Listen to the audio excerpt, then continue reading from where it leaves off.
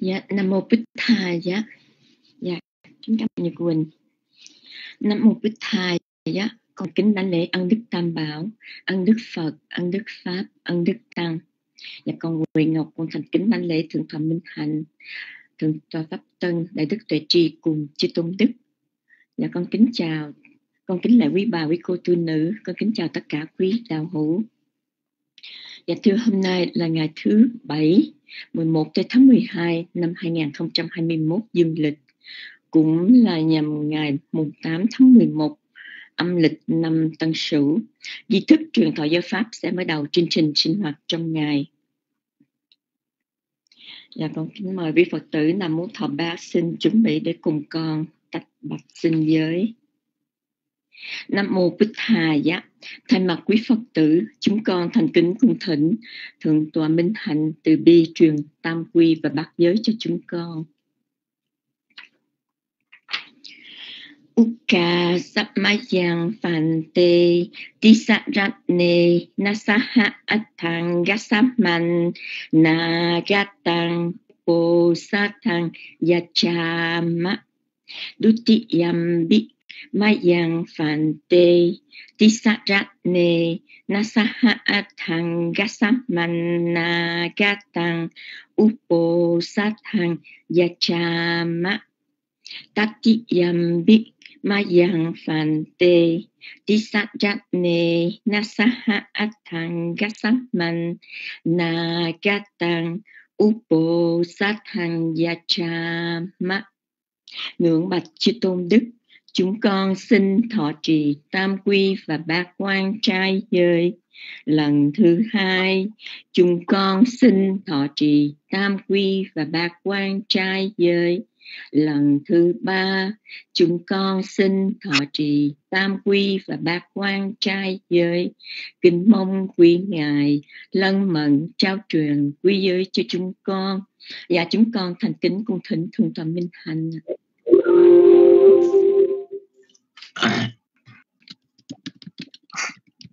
nàm mô tát tassa bhagavato arahato samma sambuddhassa.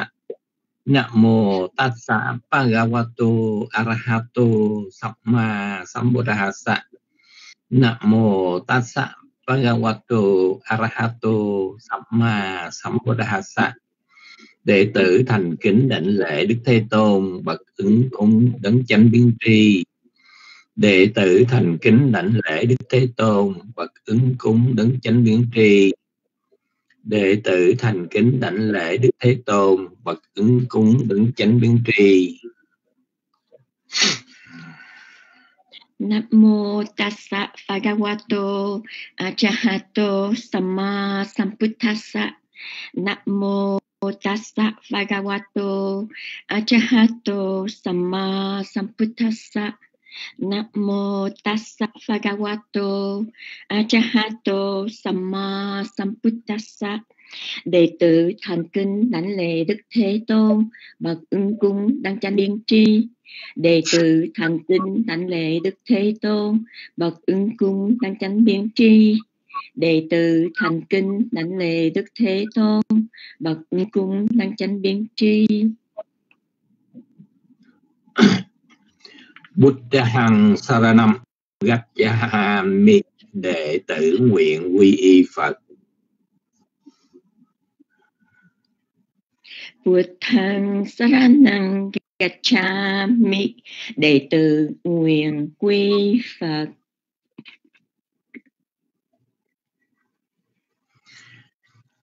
Đăng Saranam Gacchami đệ tử nguyện quy y Pháp. Dhammang Saranang Gacchami Đệ tử nguyện quy Pháp.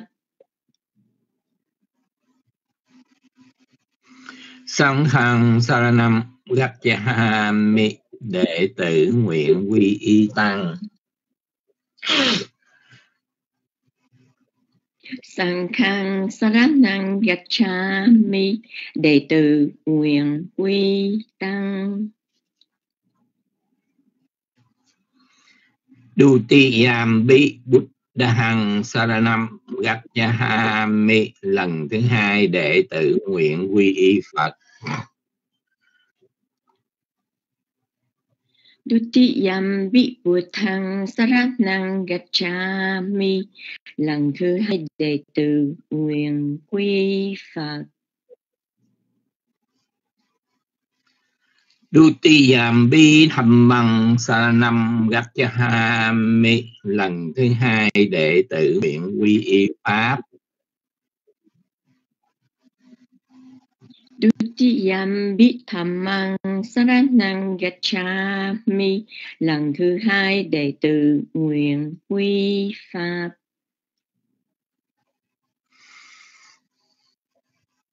Dutiyambi Sankhang Saranam Gacchami lần. Thứ hai đệ tử nguyện quy y tăng. Dutiyambi Sankhang Saranang Gacchami lần. Thứ hai đệ tử nguyện quy tăng. Tatiyambi Bụt Đahang Saranam Gacchami lần thứ ba đệ tử nguyện quy y Phật. Tatiyam Bhibbutang Saranang Gacchami lần thứ ba đệ tử nguyện quy Phật. Tatiyambi măng Saranam mi, lần thứ ba đệ tử nguyện quy y pháp. Tatiyambi Dhammang Saranang mi, lần thứ ba đệ tử nguyện quy pháp. Tatiyambi Sankhang Saranam Gacchami lần thứ ba đệ tử nguyện quy y tăng. Tatiyambi Sankhang Saranang Gacchami lần thứ ba đệ tử nguyện quy tăng.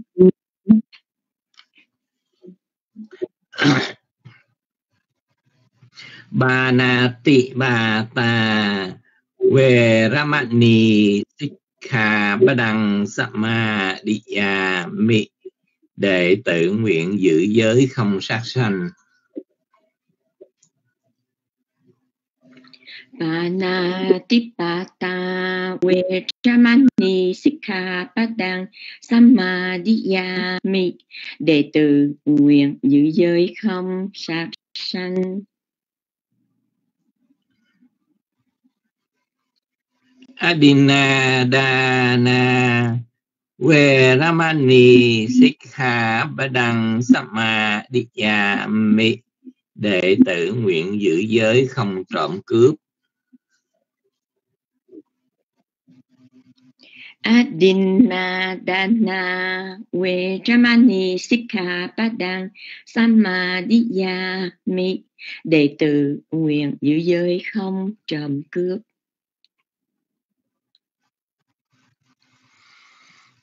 Abramacharya Veramani Sikha Badang Samadhiyami Đệ tử nguyện giữ giới không trượt hạnh. Abramacharya Vejamani Sikhapadang Samadhiyami Đệ tử nguyện giữ giới không trượt hành Musawada Veramani Sikha Badang Samadhiyami Đệ tử nguyện giữ giới không nói dối. Musawada Veramani Diya Ammi Đệ tử nguyện giữ giới không nói dối.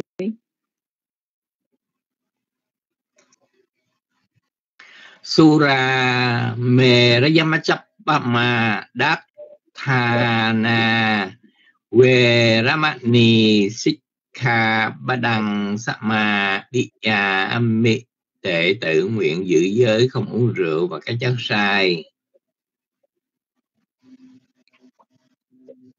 Sura me shayamachapama dathana we chamani sikha padang samadhiyami đệ tử nguyện giữ giới không rượu và các chất sai.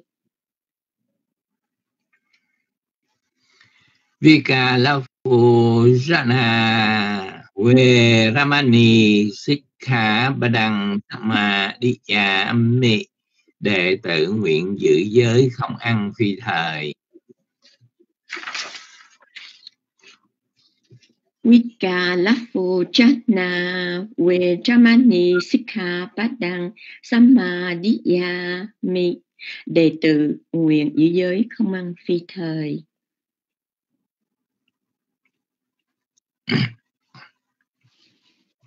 na cha gì tạ quả thị tạ uy su cái đó sanh mà là gần ta bị đề bát thà ra na mình đã na bị phụ sanat thà na về ramani sikha ba đăng sama đi mi, đệ tử nguyện giữ giới không cao vũ nhạc kịch, thưởng thức ca vũ nhạc kịch, trang điểm và mang đồ trang sức.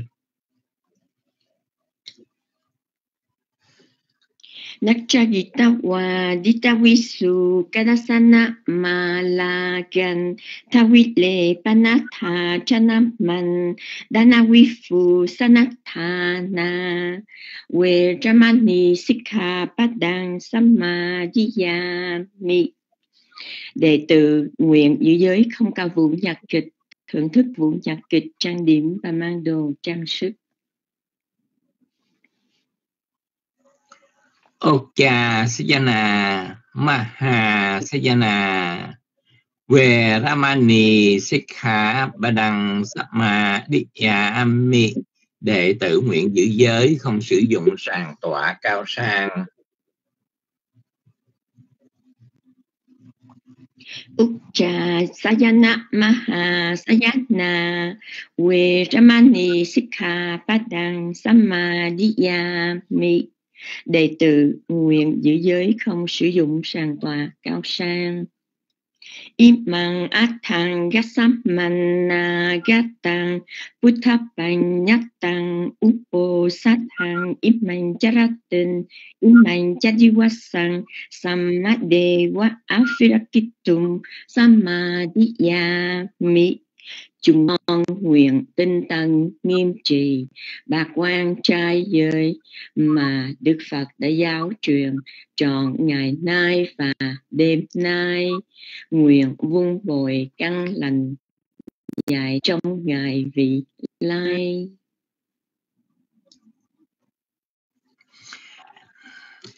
Imani atha sikha badane uposasi valasena iman jaratan iman jadi satu kang katwa.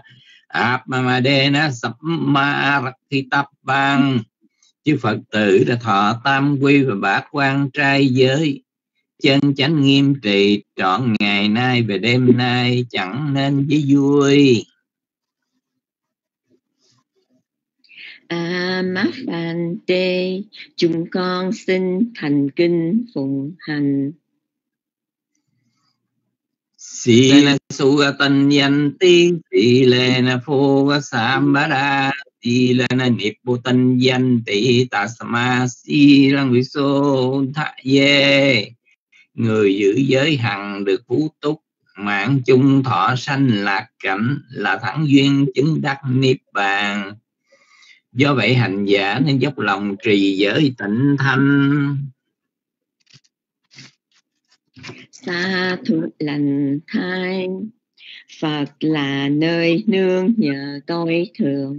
Cho chúng con vô lượng an lành, quy y Phật bào từ ân. Nguyện lời chân thật ta thành thăng duyên, gieo năm bọc trọn niềm sám hối. Những sợ hành lầm lỗi vô minh, từ thân khẩu ý thời sanh. Ngưỡng mong phật bảo đức lành từ dung. Pháp là nơi nương nhờ tôi thường. Cho chúng con vô lượng an lành. Quy y pháp bảo chân chân, nguyện lời chân thật tác thành thăng duyên gieo năm vóc trọn niềm sam ô hối những sợ hành lầm lội vô minh, từ thân khẩu y khởi sanh ngừa mong pháp bảo đức lành từ dương. Tăng là nơi nương nhờ tôi thường, cho chúng con vô lượng an lành. Quy y tăng bảo tình thanh, nguyện lời chân thật tác thành thăng duyên. Gieo năm vọc trợ niềm sám hối những sợ hành lầm lỗi vô minh, từ thân khẩu ý khởi sanh. Ngương mong tăng bào đức lành từ dung Bhagavatu Sabba Mangalang Rakhantu Sabba Devatan Sabba Buddha Nupavena Sada ba qua tôi sắp bà măng là ăn ra khăn, tôi sắp bê đê của ta sắp bà hâm má nụ phá với nè ta đà sở thi phong quanh cư tê. Ba qua tôi sắp bà măng là ăn ra khăn, tôi sắp bê đê của ta sắp bà sẵn khá nụ phá với nè ta đà sở thi phong quanh cư tê. Tất cả phương ban có đến người cầu xin thiên hậu trì, đến người do nhận oai đức của chư Phật à, do nhờ oai đức của giáo pháp à, do nhờ oai đức của chư tăng à, các sự thánh lợi thường đường đến người, cầu xin cho hóa của tâm tinh thành tam bảo, cho được thành tựu mỹ mãn, cho được thành tựu mỹ mãn, cho được thành tựu mỹ mãn. Sa thụ sa thụ lành thai lành thai Nam mô Bích Thai. Chúng con thành kính đảnh lễ và thành kính tri ân Thượng tọa Minh Hạnh đã từ bi thay mặt chư tăng, trao truyền bát quan trai giới cho hàng Phật tử chúng con. Sa thú kính cảm ơn của người người con thành kính đảnh lễ Thượng tọa giác đẳng cùng chư tôn đức và kính mời MC tiếp tục với chương trình hôm nay. Nam mô Bích Thai. Nam mô Bụt Thà giá, Nam mô Tham Ma giá, Nam mô Sang Kha giá. Và chúng con thành kính tri ân Thượng tọa Minh Hạnh, kính cảm ơn Sít Huệ Ngọc. Và con kính cảm ơn sư Nam mô Bụt Thà giá đây là chương trình Phật pháp Buddha Dhamma trên mạng internet qua Ban Talk, Facebook và Zoom mỗi ngày 2 giờ giờ mùa đông Việt Nam từ 8 giờ 30 đến 10 giờ 30 PM tối, Houston từ 7 giờ 30 đến 9 giờ 30 sáng, New York 8 giờ 30 đến 10 giờ 30 sáng, Cali 5 giờ 30 đến 7 giờ 30 sáng, Paris 2 giờ 30 đến 4 giờ 30 chiều, Sydney 11 giờ 30 tối đến 1 giờ 30 sáng, con Phong Lan thành kính đảnh lễ chư tôn đức và thân chào tất cả đạo hữu. Hôm nay thứ bảy ngày 11 tháng 12 năm 2021, Phật lịch 2565. Bài học hôm nay môn học Kinh Tương ưng Samyutta Nikaya chương 3 Tương ưng Cô Xá Lá, phẩm thứ nhất 7 Kinh Át Đá Cá Rá Ná Ách đá cá ra ná xuất tăng, sống trong thế lợi, khó tránh vọng ngôn, sẽ do Thượng tọa Pháp Tân giảng giải. Tiếp theo chương trình, chúng con xin được thành kính cung thỉnh Thượng tọa Tuệ Siêu từ bi dẫn nhập cho bài học ngày hôm nay. Nam Mô Bút Tha Giác.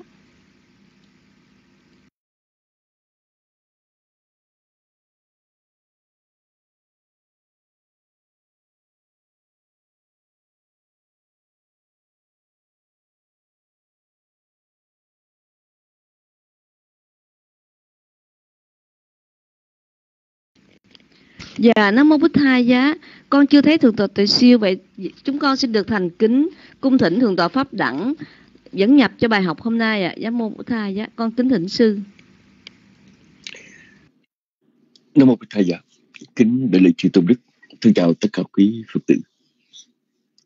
Thưa quý vị, trong ờ, phẩm kinh Cô Sá Lá này, chúng ta được nghe một số những giai thoại màu đó qua đó ghi nhận lại. Trường hợp của vua Pasenadi tức là vua Patina Tư Nặc thường đến gặp Đức Thế Tôn để uh, để trình bày và nghe những cái suy tư của mình. Và đây là một cái trường hợp cũng tương đối rất là đặc biệt giữa hai vị vua vua sự tương phản giữa vua bình sa vương tức là uh, uh, người cai trị cái vương quốc bằng kiệt đà và vua ba tư nặc người cai trị vương quốc cô Salat thì thứ gì bài kinh hôm nay cũng là một giai thoại như vậy. Bây giờ đã thấy thượng tọa tự siêu vào lúc xin ờ, kính thỉnh thượng tọa khoan hỷ dẫn nhập cho uh, bài học ngày hôm nay. Kính cùng thỉnh thượng tọa tự siêu.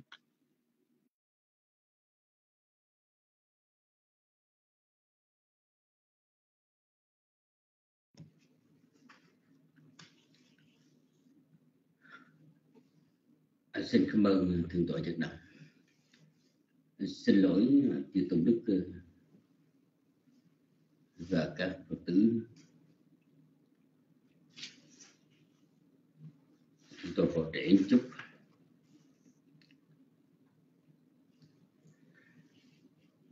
à, kính thưa quý vị,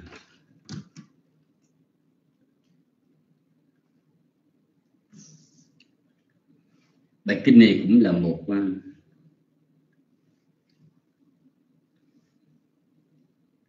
trường hợp mà vua Basenadi Sinh đã đến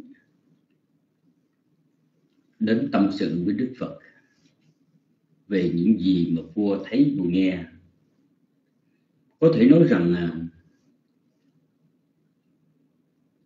trong các vị vua mà quy y tam bảo thì vua ba sen được xem như là một vị có cái mối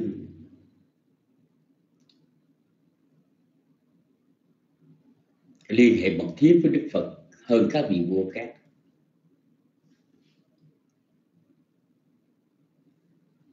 Vua Bimbisara chỉ là cái người ngưỡng mộ Đức Phật rồi được cung thánh Đức Phật là về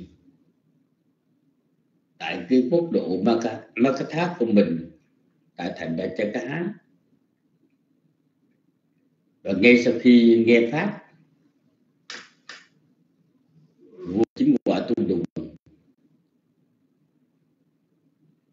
Nhưng mà từ đó về sau thì ít có nghe nói đến. Vô ý kiến đức phật. Và nói những gì và đưa đức phật là thuyết cho nghe những gì.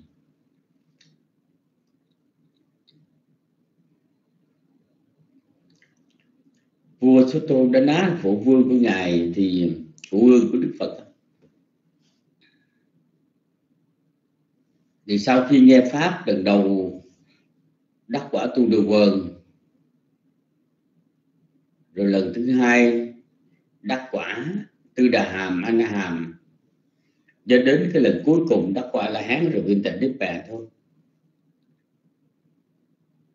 Cũng không có chuyện gì để nói. Nhưng mà riêng về vua Pasenadi thì chúng ta đọc ở trong kinh điển như là trong cái một phẩm của tư bộ kinh là phẩm cô sa lá cái chương tương ưng cô sa lá thì chúng ta đã nghe rất nhiều trường hợp. Vua suy nghĩ cái gì cũng liền đến bạch với đức phật. Có suy nghĩ như vậy như vậy. Hay là vua có cái điểm nào thắc mắc thì cũng đến trình bày với đức phật. Thậm chí khi mà vua cái sinh lý lý do vì ờ, ăn uống, nó không có được điều điều độ giờ giấc. Cho nên vua Vasenadi đã sanh ra cái bệnh tiêu hóa và luôn luôn cảm thấy mệt mỏi. Vậy mà vua cũng đến thăm đức phật. Đức phật cảm mới hỏi tại sao địa vương có vẻ như mệt mỏi. Thì vua bá sinh đã đi đã trình bày. Thế là đức phật ngài dạy cho cái bài kệ. Vua liền cho một cái vị cẩn thận đọc thuộc bài kệ đó. Và mỗi khi vua chuẩn bị ngự thiện tức là anh thì đọc lên bài kệ để cho vua nghe. Vua được cảnh tỉnh và ăn uống tiết độ trở lại ít thôi. Không có ăn no quá. Và nhờ vậy, bảy ngày sau vua khỏe. Vua tám tháng đức phật. Ở trong bài kinh này quý vị, cũng là một lời tâm sự với vua, với đức phật. Về cái việc mà các cái quan đại thần và lâm môn là những người quan tòa, như thẩm phán gì đó. Vì do nhận của hối lộ cho nên đã xử đã xử tội tùy theo cái ý của mình ai đút lót nhiều thì xử cho phải, còn ai đút lót ít thì xử cho quấy, vân vân. Vua chán, cho nên vua đã đến bạch với đức phật. Thì đức phật ngài nói cho vua biết là những người như vậy đó phải chịu đau khổ trong thời gian dài. Vân vân thì ờ, ở đây đó trong cái bài học này cũng dễ hiểu không có gì khó khăn. Chúng ta sẽ được nghe.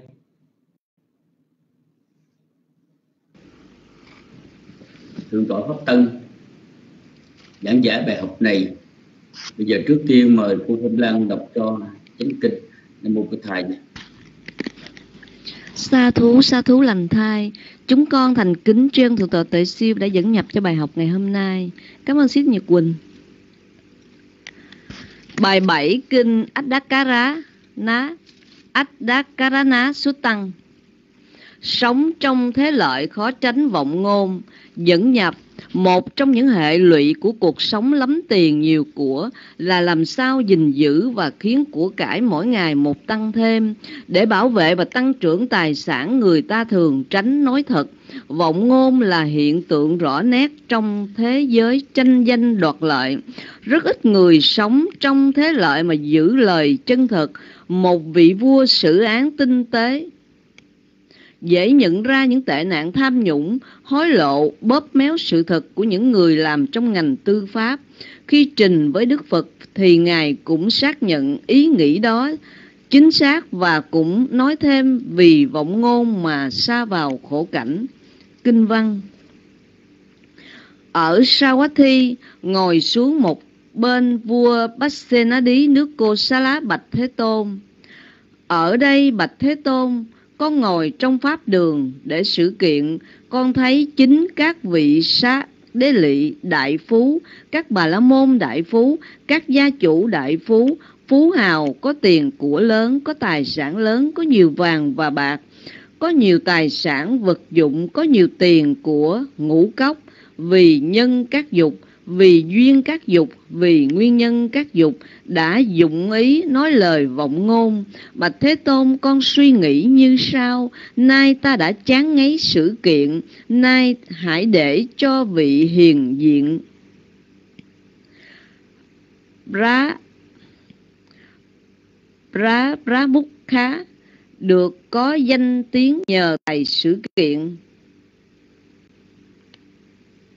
Thưa đại vương, các vị sắc đế lị đại phú, các vị bà la môn đại phú, các vị gia chủ đại phú, phú hào có tiền của lớn, có tài sản lớn, có nhiều vàng và bạc, có nhiều tài sản vật dụng, có nhiều tiền của ngũ cốc, vì nhân các dục, vì duyên các dục, vì nhân duyên các dục đã dụng ý nói lên lời vọng ngôn. Do vậy, họ sẽ gánh chịu bất lợi, đau khổ trong một thời gian dài.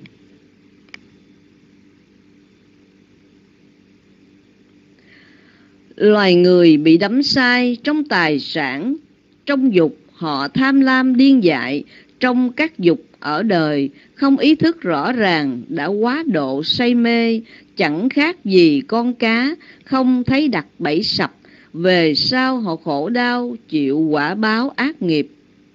Bản hiệu đính, say đắm trong lạc của giàu sang phú túc không ý thức được rằng đã lạc bước quá xa, giống cá xa vào lưới chịu đau khổ về sau do ác nghiệp đã làm.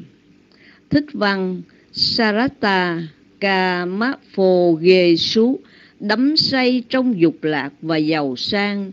Gita Kamesu Mukchita tham lam điên dại trong dục vọng. Atisarang Atisaram Ná Pú Dí Hàn Tí Họ không nhận ra đã đi quá xa. Matcha Khiếp Pầm Vá Ô Đi Tầm Giống như cá xa vào bẫy lưới. Patcha Trà Sầm Cá Túc Cầm Hồn Tí Bị đau khổ về sau. Viết Bà Cô Hít Xá Bà bắt Cô Tí Chịu quả xấu của ác hạnh thích nghĩa. Chữ pra pra pra mukha trong câu cuối của vua Bassenadi chỉ cho một vị đại diện đáng trọng thay mặt nhà vua sự kiện. Có hai bản sớ giải cung cấp hai chi tiết khác nhau. Kinh, theo kinh bổn sanh số 261 thì nhà vua muốn nói, hoàng tử vidu Đu Tháp Bá quý đù đáp phát trong lúc kinh bổn sanh số 465 thì nói đó là nguyên soái ban thuốc lá. Theo sử thì cả hai đều có lúc nắm giữ binh quyền. Theo sớ giải thì vua Bassenadi nói lên ý nghĩ của mình khi thuật lại câu chuyện tại Pháp Đình mà nhà vua là người đứng ra sự kiện. Rất dễ dàng để thấy các quan một khi đã nhận hối lộ thì tìm cách nói tốt hay giảm tội cho các phạm nhân, mà ít khi nhìn bản án với công tâm. Tất cả đều vì sự chi phối của đồng tiền như sự sự trạng đa kim ngân phá luật lệ. Dịch giả hòa thượng thích minh châu, hiểu đính và biên soạn giáo trình tỳ kheo giác đẳng. Và chúng con thành kính cung thỉnh thượng tọa pháp tân từ bi thuyết giảng nội dung bài kinh vừa đọc. Nam mô bút tha giá.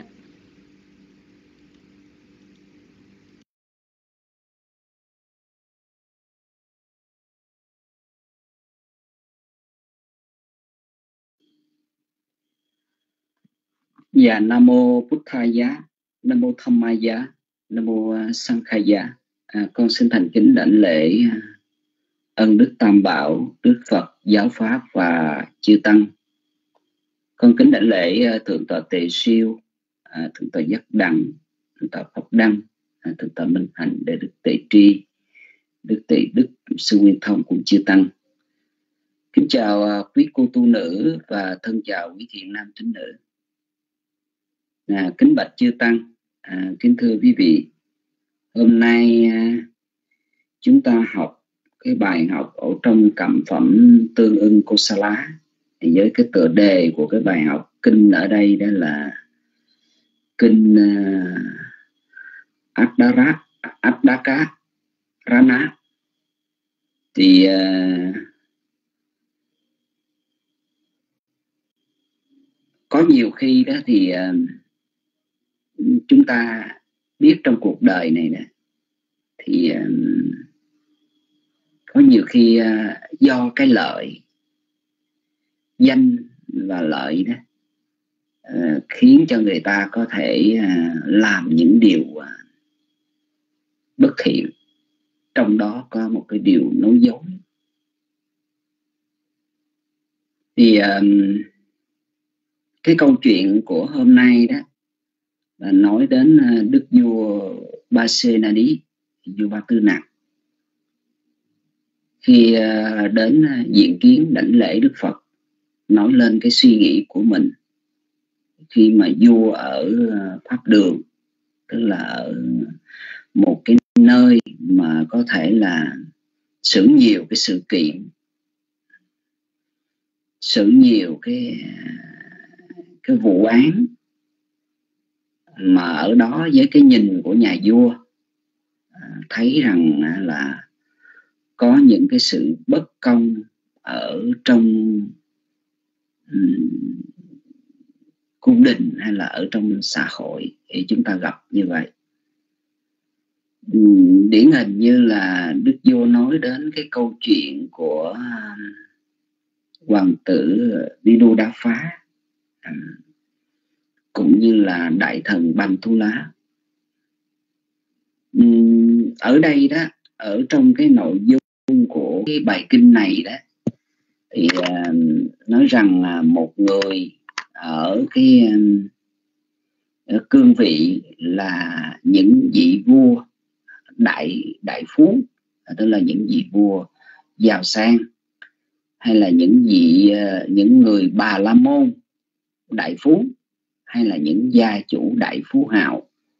Có nhiều tiền của ừ, có nhiều tiền của có nhiều vàng bạc có nhiều vật dụng có nhiều à, ngũ cốc hay là có nhiều trâu bò. Ừ, tức là muốn nói đến những người à, giàu sang. Ừ.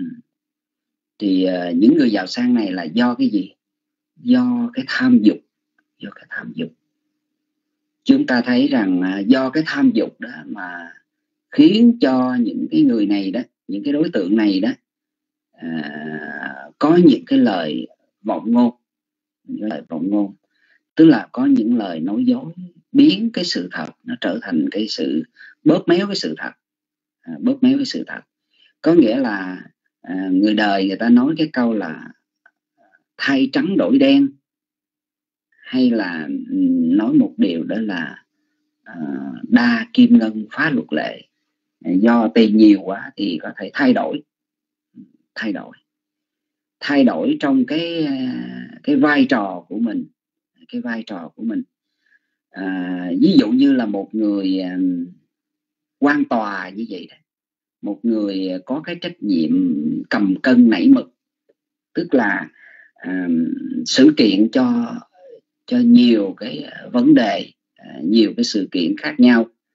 Và do đó, đó thì do cái đồng tiền à, họ ham muốn với cái đồng tiền có thể rằng à, chúng ta nhìn về cái à, xã hội cũng vậy xưa cũng như à, đặc biệt là những cái nơi nào mà chúng ta thấy rằng hối lộ hay là tham nhũng đó thì họ có thể biến trắng thay đen à, biến đen thành trắng.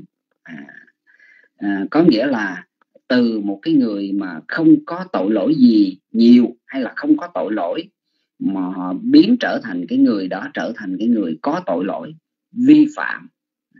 Rồi cái người mà có tội lỗi à, là vi phạm pháp luật à, trở thành những cái người không có vi phạm pháp luật là do cái người cầm cân nảy mực đó.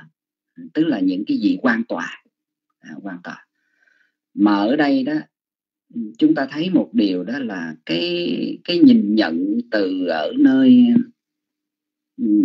cái nhận xét của một vị vua là vua Ba đi về nhận xét về à, về cái chung của xã hội cái chung của xã hội.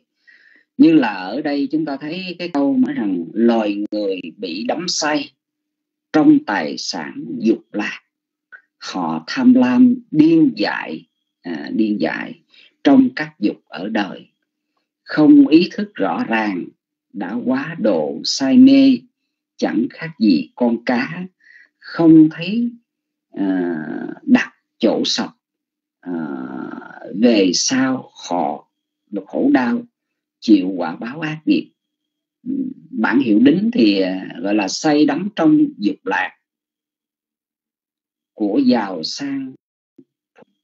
Không ý thức được rằng đã lạc à, bước quá xa giống như cá xa vào Ờ, à, khá, ờ, giống cá xa vào lưới chịu đau khổ về sau do ác nghiệp đã làm. Thì à, cái cái nhìn nhận cái nhận xét chung về của vua ba na đi đó à, trình bày cho đức phật về cái nhận xét của nhà vua về cái một vị vua một vị vua. Ví dụ như chúng ta thấy rằng ở trên cương vị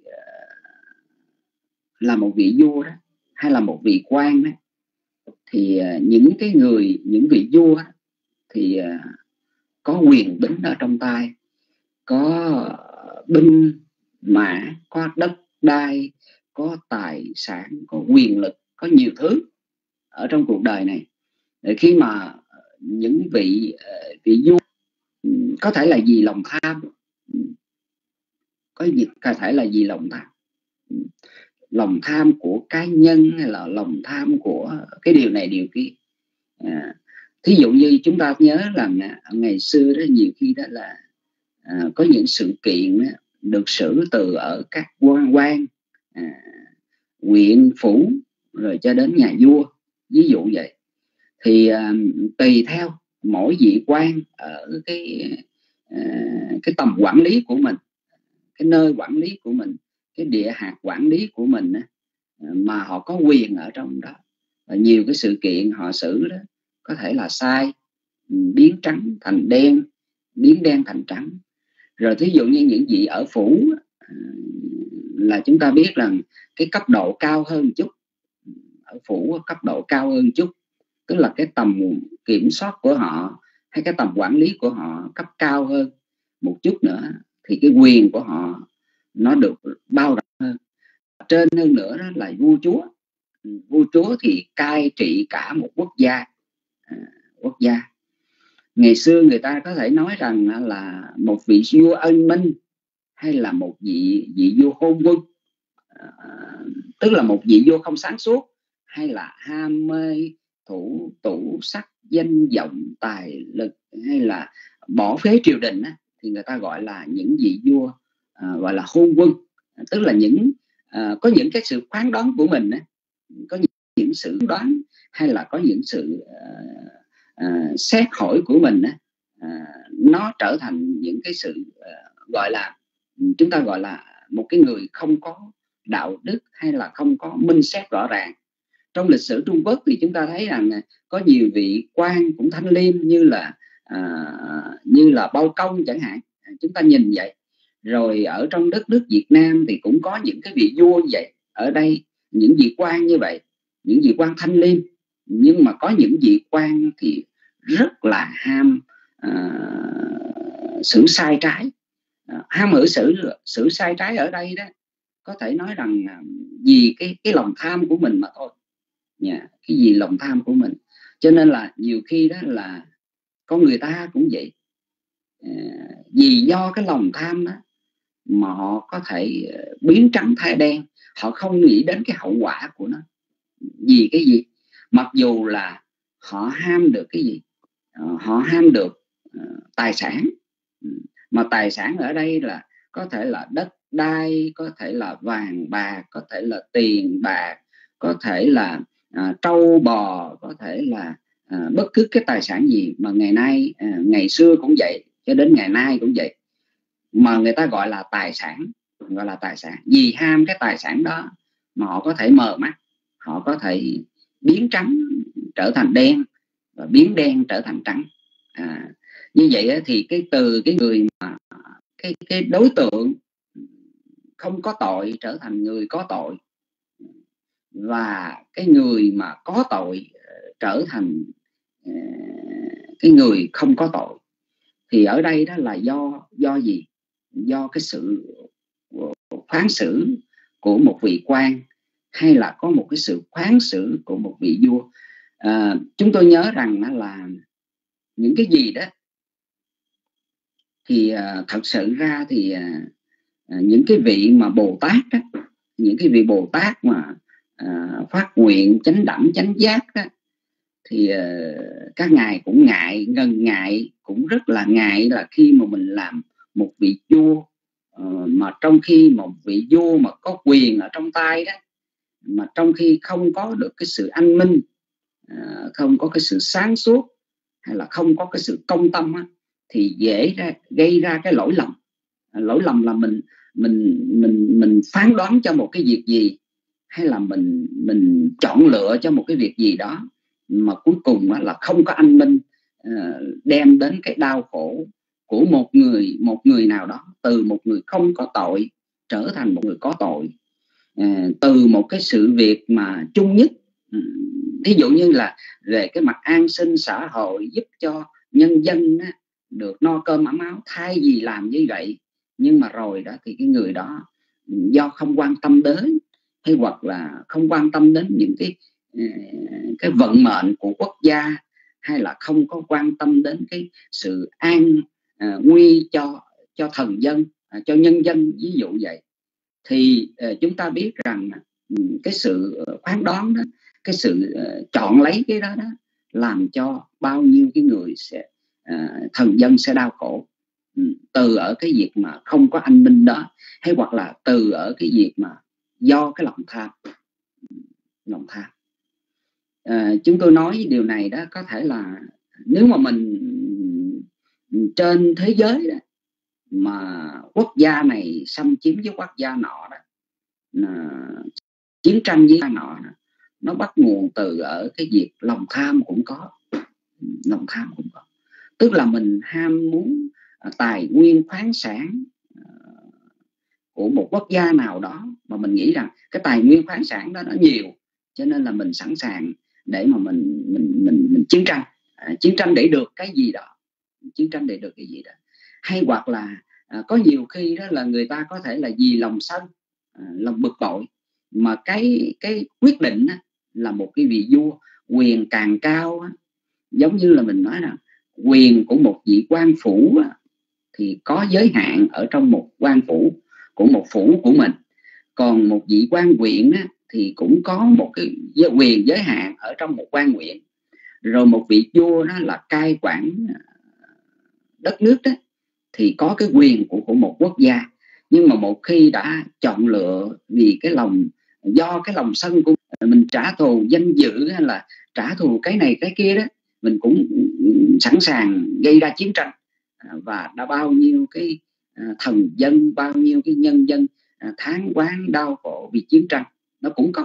À, nhưng mà rồi đó là ừ, cũng do cái cái cái cái cái, cái, cái, cái lâm hay là do lòng sân nhưng mà do cái sự không sáng suốt của chính mình. Cho nên là gây biết bao nhiêu cái cái cái cái đau khổ mà họ không nghĩ hậu quả. Bởi vì trước mắt này là mình có quyền một vị vua có quyền một vị quan có quyền. Cho nên là cái khoáng quyết của họ đó nó có thể rằng là à, gây biết bao nhiêu cái đau khổ cho người khác hay có lợi người khác. Ít có khi chúng ta thấy rằng cũng có người à, cũng có những cái sự công tâm à, có những cái sự công tâm có những sự rõ ràng minh bạch à, minh bạch à, trắng ra trắng đen ra đen à, giải quyết những cái việc đó sự kiện những cái việc đó, đó thì mang đến cái à, lợi ích đó rất là rõ ràng. À, có có tội có lỗi thì xử có tội có lỗi. À, không có tội có lỗi thì xử không có tội có lỗi. Hoặc có lỗi này hoặc không có lỗi kia lỗi nhiều hoặc lỗi ít có tội nhiều hoặc là tội ít. Cái đó là cái hiện trạng mà chúng ta thấy bắt nguồn từ ở cái cái lòng tham mà ra. Rồi bây giờ đó là mình nói đến một cái một cái vị mà gọi là giới, cái giới mà mình à, thường được đọc ở trong kinh, ở xã hội Ấn Độ đó à, là bốn cái giai cấp từ ở cái việc vua chúa, một cái giai cấp của một vị vua chúa có quyền bính ở trong tay rồi à, có quân, binh, có nhiều cái à, ở trong tay này. Và một cái quyết định của mình nó có thể gây đau khổ. Cái thứ hai nữa, cái đối tượng thứ hai nữa đó, là nói đến một cái vị bà la môn. À, cái giai cấp bà la môn thì mình hiểu nó giống như là một giai cấp tu sĩ xã hội ấn độ thời đó. Ừ, ừ, giai cấp tu sĩ. Mà nhờ ở đó, cái giai cấp tu sĩ đó thì mình hiểu nói chung là những vị bà la môn những vị bà la môn thì nói chung là giai cấp tu sĩ. Thì à, quý vị thấy rằng là à, nếu mà mình nói xa hơn à, những cái vị bà la môn uh, theo như đạo uh, gọi là bà la môn giáo ngày xưa hay là ấn độ ngày nay ấn độ giáo ngày nay đấy thì uh, chúng ta thấy rằng là người ta những vị đó đó tự nhận mình à, tự nhận mình là một cái à, cái đối tượng để giao tiếp giữa thần linh và con người.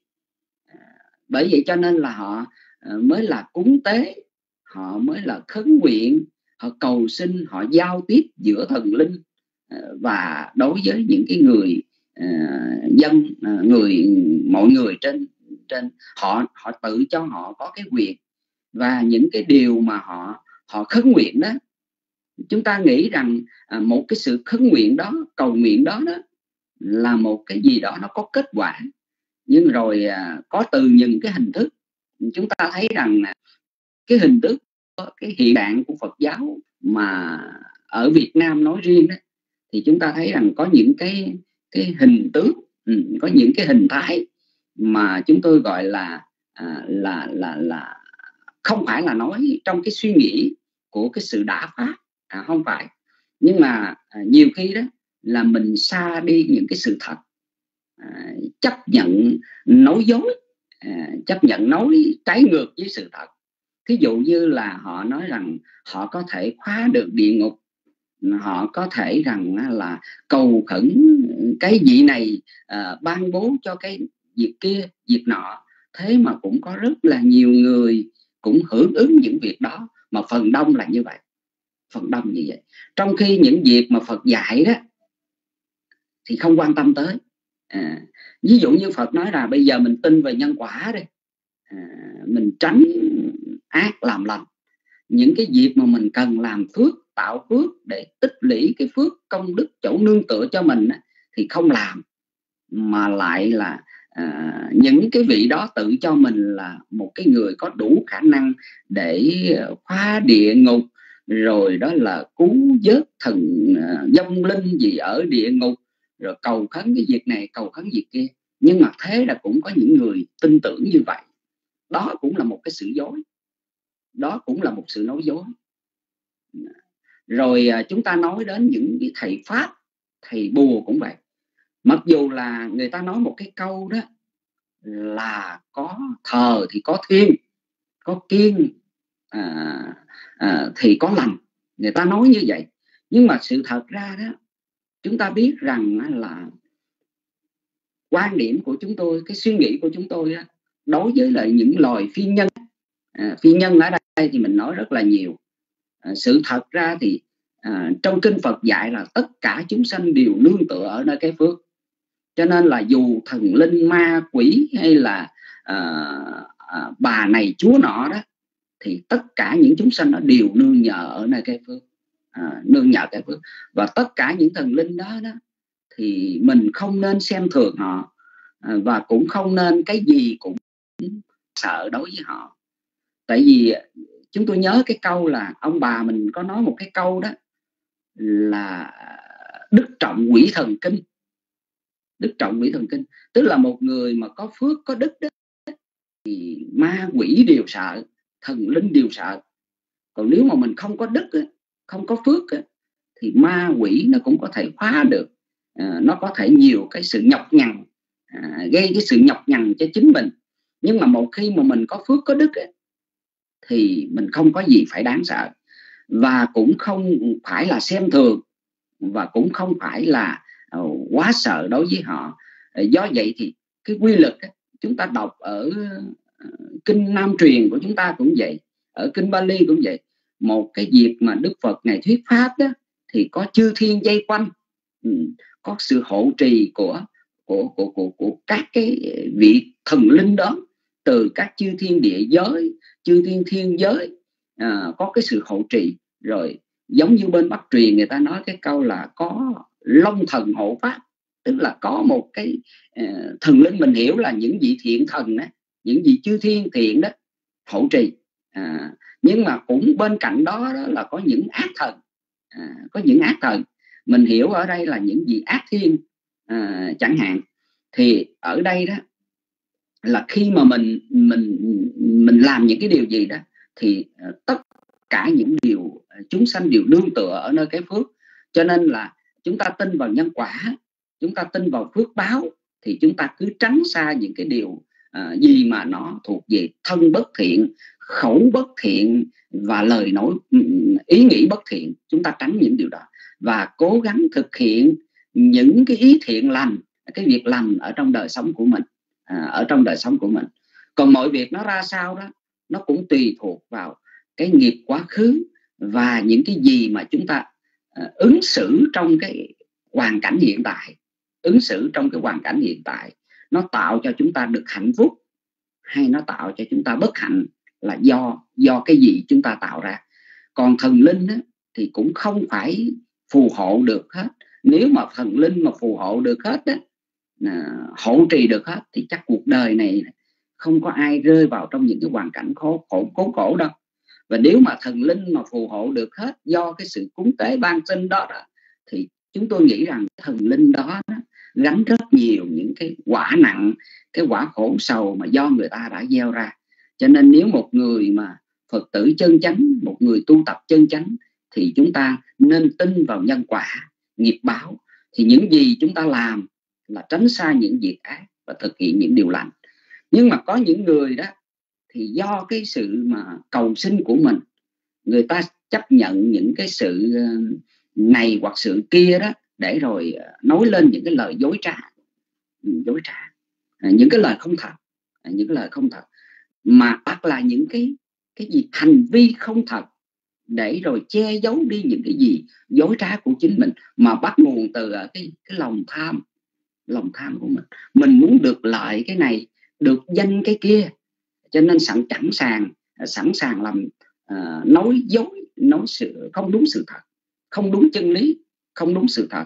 À, ý chúng tôi muốn nói ở đây đó là ngay cả à, những cái vị mà bà la môn giáo cũng là như vậy. Có những cái điều mà họ những hành vi họ làm đó, cũng là những cái sự dối trá à, có một phần của sự dối trá. Rồi ở trong Phật giáo cái hình thức của Phật giáo ngày nay chúng ta thấy rằng có những cái việc nó cũng xảy ra như vậy à, mà nó nhan nhản ở trong Phật giáo của chúng ta. À, nó có những cái hình trạng vậy. Nhưng mà rồi đó biểu là quay về với chính cái cái lời dạy nguyên thủy lời dạy mà Đức Phật dạy cho chúng ta à, sống như thế nào để được an trong đời này và đời sau.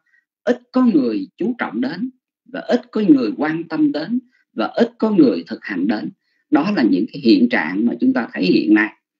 À, bắt nguồn từ ở cái cái lòng tham mà ra. À, bắt nguồn từ ở cái lòng tham. Cái tham dục ở đây đó là cái ý muốn của mình. À, mặc dù là mình có quyền ở trong lĩnh vực nào mình có mình có à, giống như là cái quyền trong lĩnh vực nào cái vai trò nào đó mà mình khởi bắt nguồn từ ở cái lòng tham của mình. Cái lòng tham khiến cho mình muốn cái này muốn được cái kia và mình biến trắng sai đen. Trong cái ngôn ngữ cũng dối trong cái hành động cũng dối à, trong cái hành động cũng đó rồi trong cái suy nghĩ nhiều khi mình biết cái đó đó nó sai trái nhưng mà rồi đó là mình vẫn làm. Làm gì? Vì cái lợi lộc của chính mình cho nên mình làm những cái điều đó. Cho nên là à, bắt nguồn từ ở cái gì? Thiếu cái lòng tàm và lòng quý. Nói trong kinh là thiếu lòng tàm lòng quý. Hay nói cách khác tức là thiếu cái sự xấu hổ mắc cỡ với cái vai trò của mình là một tu sĩ chân chánh hay là với vai trò của mình là một cư sĩ chân chánh à, chân chánh. Mình thiếu cái sự mắc cỡ đó đi à, thiếu cái sự xấu hổ đó đi. Rồi mình thiếu đi những cái sự sợ hãi. Ừ, sợ hãi bởi bởi những cái gì? Bậc thiện trí thức chê trách. À, sợ hãi bởi cái quả xấu ở trong tương lai. Mà trong đoạn kinh này đó chúng ta thấy rằng đức phật này ví dụ à, giống như ừ, à, cái ở đây được ví dụ giống như là một cái cái cái bẫy mà con cá đó à, nó bị sập bẫy. À, ở đây à, mình mình nói là trong kinh tăng chi cũng có cái ví dụ là à, cái người mà tà kiến ở trong lòng đó à, họ chủ trương tà kiến đó. À, cái tà kiến ở đây nó có nhiều lắm. Yeah, chủ trương tà kiến nó có nhiều lắm. Và cái tà kiến ở đây đó có nghĩa là sai sự thật. Mà họ chủ trương tà kiến đó, thì giống như một cái lờ cái lợp mà đặt ở ngã ba sông vậy nè. Ngã ba sông. Mình mình ở quê thì mình có nghe cái lờ cái lợp cái cái đó cái đăng gì đó. À, thì tùy theo mỗi cái cái tên gọi của một cái vật à, một cái dụng cụ à, gọi là để băng săn bắt cái cái à, cái, cái loài thủy tộc cái loài thủy tộc như cá cua uh, vân vân. Thì chúng ta biết rằng là uh, nếu mà cái lờ cái lợp cái đó cái đăng đó đặt ở ngã ba sông đặt ở cái cái nơi mà có thể giao lưu giữa các cái loài thủy tộc. Thì nếu mà loài thủy tộc nào mà lọt vào ở trong cái đó cái đăng hay hoặc là cái lờ cái lợp đó đó thì rõ ràng là khó chạy ra lắm khó chạy ra. Như vậy thì không phải chỉ khổ đời này mà khổ đời sau. À, chúng tôi nhớ cái câu mà người ta nói rằng là một người à, viết văn hay là viết sử gì sai đó thì nó khổ cho một thế hệ. À, còn cái người mà ừ, thầy thuốc mà mà mà là chữa thuốc bệnh sai thì làm chết bệnh nhân. À, nhưng mà một cái người ừ, tu nó là một cái người tu sĩ đó mà mà mà chủ trương tà kiến đó à, chủ trương tà kiến bắt nguồn từ ở cái lòng tham muốn của mình đó vì cái lợi lộc nè vì cái cái danh vọng nè vì cái cương vị của mình mà chẳng sàng mình ờ, mình mình mình bán mất đi cái cái cái cái, cái, cái tâm chân chánh của mình bắt nguồn từ ở cái sự sâu sự không xấu hổ với cái lỗi lầm của mình và là cái sự không sợ hãi đối với cái lỗi lầm cái quả báo xấu. Cho nên là mình nói năng như vậy. Cho nên cái người mà ừ, giống như cái lờ cái lợp mà đặt ở ngã ba sông thì uh, những cái loài thủy tộc sẽ bị vướng vào trong đó thì khó thoát ra. Thì cái người chủ trương về tà kiến đó, do cái tà kiến mà họ nói dối tức là họ nói lên những cái lời khấn nguyện họ nói rằng chính bản thân họ là cái đối là cái người để giao tiếp giữa thần linh và mình. Họ có thể cầu nguyện cho điều này họ xóa bỏ điều kia họ um, bắt giả cái điều nọ bắt giả cái điều nọ. Thì đó là dối đó là dối nhưng mà mình hiểu ở trong lời dạy của Phật đó là tất cả cái hành động của mình À, mình làm chủ về hành động của mình, lấy con người làm trung tâm. À, làm trung tâm. Có nghĩa là à, mình mình làm chủ được vận mệnh của mình. Và không phải là tất cả đều là do thần linh. Và hôm trước chúng tôi có nói cái câu pháp cú mà đức phật ngài có dạy đó ừ, người nào cầu an vui và hạnh phúc cho mình, nhưng vì dùng quyền thế hãm hại chúng sanh khác đó, thì cái người đó sau khi chết không bao giờ được an vui. Cho nên là nhiều khi mình mình tế cái này mình cầu cái nọ để được thần linh phù hộ cho mình. Trong khi mình tạo ra cái ác nghiệp mà mình cầu an vui cho mình thì làm sao có được những điều đó. Nè cho nên ở đây là nói đến cái đối tượng mà gọi là cái giới tu sĩ. Cái giới tu sĩ là cái nhìn chung. À, cái nhìn chung của giới tu sĩ không phải là chỉ cho những bà la môn nhưng mà đó là một cái cái cái chung nhất là của cái những cái giới tu sĩ từ ở cái lòng tham dục. Cho nên là khiến họ họ họ họ, họ dối dối trong lời nói nói nói dối trong lời nói hành động cũng dối. Giống như bên ngoài chúng ta thấy là à, tỏ ra là vẻ là người ờ, chân chính là một người tiên phong đạo cốt gì đó. Ừ, nhưng mà rồi đó là à, trong lòng là hư nát à, trong lòng là thối rửa hay là trong lòng à, à, dối trá như vậy thì à, cái điều đó nó nó nó bắt nguồn từ ở cái sự mình tham đắm say đắm ở trong cái dục lạc. Trong kinh tăng chi á, thì đức phật ngài nói là ừ, mình mình say đắm trong cuộc đời này à, say đắm trong cuộc đời này à, say đắm về tuổi trẻ à, à, say đắm về tuổi trẻ à, say đắm vì vô bệnh à, vô bệnh. À, cái thứ ba nữa là say đắm trong cuộc đời này. Mà say đắm trong cuộc đời này là gì? Là chúng ta chấp nhận cái sự chi phối của lòng tham dục này mà khiến cho chúng ta hành động nói năng suy nghĩ à, bắt nguồn từ ở cái lòng tham mà chúng ta à, nói những cái điều ờ, dối trá hành động dối trá suy nghĩ dối trá. Cho nên tạo ra những cái quả khổ sầu ở trong tương lai bây giờ nói đến cái đối tượng thứ ba nữa đó là cái đối tượng mà ở trong kinh trong bài kinh này nói đó đó là những gia chủ đại phú những gia chủ đại phú. Cho nên đó là người ngoài đời đó người ta nói một cái câu là uh, là là là là thương trường là chiến trường. Tức là khi mà mình ra buôn bán hay là mình ra kinh doanh thì ờ, quý vị biết rằng uh, giống như là những cái người càng làm lớn thì cái bước đi tính toán của họ có những người rất là chân chánh. Nha không phải là mình nói hết. Những người đó là họ làm giàu á là vì công sức của họ họ công sức trí tuệ của họ họ bỏ ra để họ đạt được họ có được cái cái cái, cái tài sản mà họ có được à, do cái công sức của họ bỏ ra. Nhưng mà có người đó thì họ có nhiều cái mưu mô à, nhiều cái mưu mô họ tính toán họ gài bẫy để cuối cùng là cái cái cái cái đối tác hay là cái ờ, cái đối tác của họ bị xa sụp ờ, bị suy sụp bị ờ, rơi vào trong cái cạm bẫy của họ thế rằng gây ra cái đau khổ cho cái người khác. Mà ở đây đó đó là mình nói những cái người mà mà thuộc về cái dạng mà buôn bán lớn hay là kinh doanh lớn à, kinh doanh lớn. Nhưng mà có những người đó thì dù là kinh doanh nhỏ cũng vậy. Ừ. à, chúng tôi à, đọc ở trong kinh chúng tôi hiểu rằng như thế này.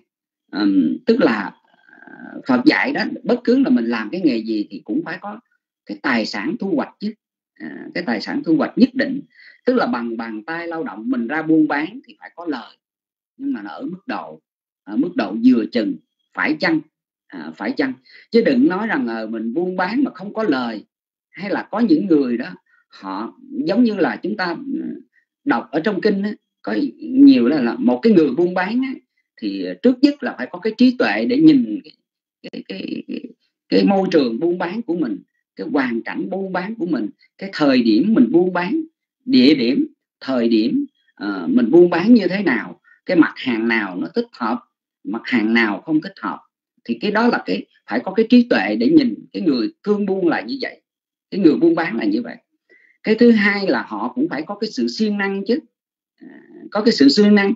Họ có siêng năng là phải à, thức khuya dậy sớm phải tính toán phải làm cái việc này việc nọ sổ sách để họ siêng năng hoặc là họ đi uh, chuyển hàng chở hàng họ vận chuyển hàng vân vân thì họ phải siêng năng chứ. Cái thứ ba nữa đó là họ phải có cái sự tín nhiệm. À, có cái sự tín nhiệm tín nhiệm giữa khách hàng giữa đối tác đối với mình. À, tức là cái gì ra cái đó. Hàng thật ra hàng thật. À, chúng tôi nói rằng là những cái nước cái nước mà xã hội nó phát triển thì nó ít có cái tình trạng mà gọi là à, hai mặt hàng cũng thứ giống nhau nhưng mà cái là hàng thật cái hàng giả. Ừ, cái hàng thật hàng giả. À, hay nói cách khác tức là một cái hàng kém chất lượng và một cái hàng đủ chất lượng à, đủ chất lượng. Nhưng mà rồi đó thì ở đây đó là um, chúng ta nói rằng cái à, à, cái cái chất lượng đó à, có những cái nước mà mà tiến triển phát triển đó, thì họ không có chuyện đó. Cái cái hàng gì họ chế ban đầu á, thì mới ban đầu là sơ khởi đó, thì chúng ta gặp rằng là à, mới ban đầu sơ khởi thì có thể là họ chưa hoàn chỉnh trong cái việc mà họ chế tác ra một món đồ một món đồ. Nhưng mà rồi qua cái thời gian người ta tiêu xài tiêu dùng người ta tiêu dùng đó thì người ta mới là à, thấy rằng cái này nó chưa chưa chưa có hoàn hoàn chỉnh lắm cho nên là họ chế tác lần sau đó thì nó hoàn chỉnh hơn. Nhưng mà rồi đó là có người ở ở tại Việt Nam chúng ta cũng thấy vậy. Ở ban đầu giống như chúng ta thấy rằng những cái vật dụng cũng vậy đó chiếc xe mình mình mặc dù là ờ, chế ở ban đầu lúc trước mà chiếc xe gắn máy quý vị biết rằng á, ban đầu á, thì nhập từ ở bên Nhật qua à, thì đó là hàng nguyên mình không nói. Rồi thí dụ như là rồi nhập qua từ ở Trung Quốc qua à, vân vân. Ừ, thì đó là mình nói rằng ừ, là như vậy. Nhưng mà rồi đó là ban đầu đó, à, nó có dài cái món phụ tùng. Chúng ta thấy rằng ở ban đầu á, thì nguyên chiếc xe nó nhập qua nhưng mà vài một thời gian sau á, thì chiếc xe nó nhập qua nó có cái sườn rồi có cái bánh nó có cái máy rồi các cái bộ phận khác ấy thì rắp ráp tại Việt Nam à, Việt Nam.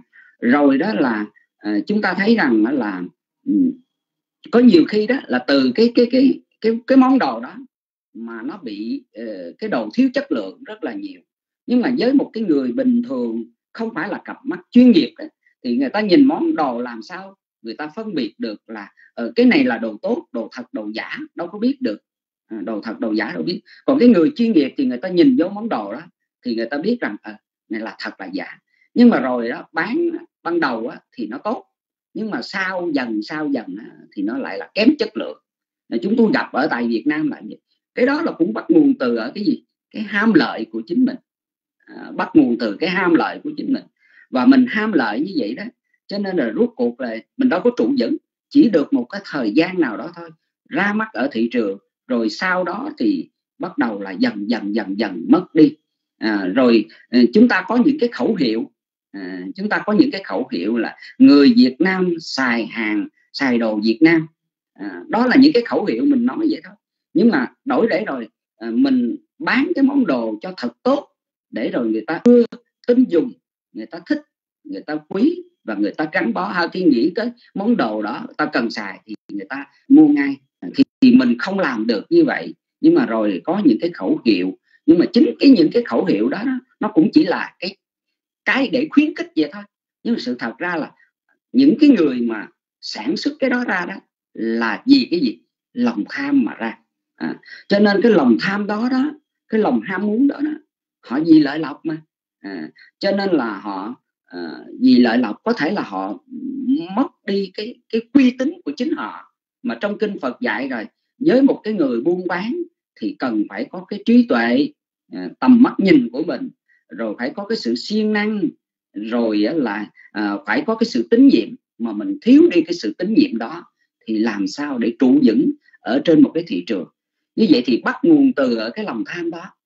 Như vậy thì chúng ta đọc ở qua cái đoạn kinh này đó cái bài kinh này đó thì ở đây đó cái gọi là lời người bị đắm sai trong tài sản trong dục họ tham lam điên dại. À, họ tham lam điên dại có nghĩa là bất chấp. À, điên dại bất chấp. Trong các dục ở đời không ý thức rõ ràng đã à, quá độ say mê chẳng khác gì con cá không thấy trên bảy à, không thể đặt trên bảy về sau họ khổ đau chịu quả à, chịu à, quả báo ác nghiệp. À, bản hiệu đính gọi là say đắm trong dục lạc à, của giàu sang phú túc. Không ý thức được rằng đã lạc bước xa quá xa à, giống cả xa ừ, cả xa và cá xa vào lưới chịu đau khổ về sau do ác nghiệp đã làm ừ. cho nên ở đây đó mình thấy rằng á, là là là là là là cái lòng tham dục khiến cho họ có những cái hành động sai trái có những lời nói sai trái à, rồi có những cái suy nghĩ sai trái à, cái suy nghĩ sai trái mà ở đây đó là bắt nguồn từ ở cái lòng tham mà ra cho nên là dù ở cái cương vị nào cái vai trò nào? À, cái vai trò là một vị vua vị quan vị có quyền ở trong một quốc gia. Nhiều khi mình là cái người cầm cân nảy mực. À, giống như chúng ta thấy là à, không nói nó hết quan tòa. Nhưng mà có những quan tòa vì hám lợi vì hám lợi mà đánh mất đi cái lương tâm nghề nghiệp của mình. À, nghề nghiệp của mình. Cái việc chuyên môn của mình à, đánh mất đi những cái cái, cái, cái đạo đức căn bản của mình à, của một cái người một vị quan tòa một vị quan tòa từ cái vị vua chúa quan cấp phủ cấp huyện uh, vân vân. Rồi uh, ngay cả cái vai trò của một cái người tu sĩ cũng bắt nguồn từ ở cái, cái lòng tham dục đó mà họ có những cái lời nói dối trá à, dối trá biến cái sự thật nó trở thành cái uh, sự dối trá không đúng sự thật. Rồi biến cái cái lời cái sự thật đó trở thành cái cái không sự thật rồi cái sự thật không phải sự thật mà trở thành những cái sự thật. Như vậy đó là cái hành động à, lời nói hoặc là cái suy nghĩ dối trá. À, nó không có chân thật. Thiếu đi cái sự chân thật ở trong đó. Thiếu đi uh, cái sự à, chân thật ở trong đời sống. Rồi ở ngoài xã hội từ những cái người buôn bán hay là uh, từ những cái người buôn bán lớn hay là những cái người kinh doanh lớn hay là những cái người buôn bán là nhỏ lẻ vân vân. Rồi những cái người làm nghề nghiệp này nghiệp kia nhưng mà thiếu đi cái cái sự uy tín hay là cái chữ tín của mình à, đối với những cái người những cái đối tác à, những cái khách hàng những cái à, đối tác với mình làm ăn với mình mà thiếu đi những cái điều đó thì cũng khó bao giờ trụ vững. Chúng ta chưa kể đến cái việc mà ừ, cái quả báo ở trong tương lai à, một khi đã tạo cái nghiệp bất thiện à, một khi đã tạo cái nghiệp bất thiện thì khi mà một người mà tạo cái nghiệp bất thiện thì chúng ta cũng biết đó. À, nó có nhiều cái nguyên nhân. Ờ, khi mà tạo cái nghiệp bất thiện thì chắc chắn bị cái quả khổ sầu mà điều trước mắt đó là không biết là có những cái khổ nạn ở trong kiếp mai sinh lai sinh. Rồi ờ, chúng ta sanh lại làm người đó. Có những cái sự mà chúng ta bị khiếm khuyết từ cái lời cái miệng của chúng ta à, câm ngọng vân vân. Có những cái điều mà từ bắt nguồn từ ở cái việc mà à, chúng ta dối trá đó mà ra. Rồi à, nếu mà chúng ta dối trá đó thì cuộc đời đó có những cái lúc mà chúng ta ừ, sanh giàu ở trong một cái hoàn cảnh và chịu những cái, cái, cái, cái sự ờ, khổ sầu à, cái sự khổ sầu.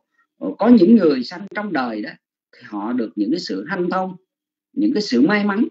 Nhưng mà có những người trong cuộc đời thì dấp phải những cái cái cái sự khổ sầu ở trong tương lai, bắt nguồn cái sự dối trá, suy nghĩ dối trá, lời nói dối trá và hành động dối trá không đúng với cái sự thật. Như vậy thì cái quả khổ sầu nó rất là nặng.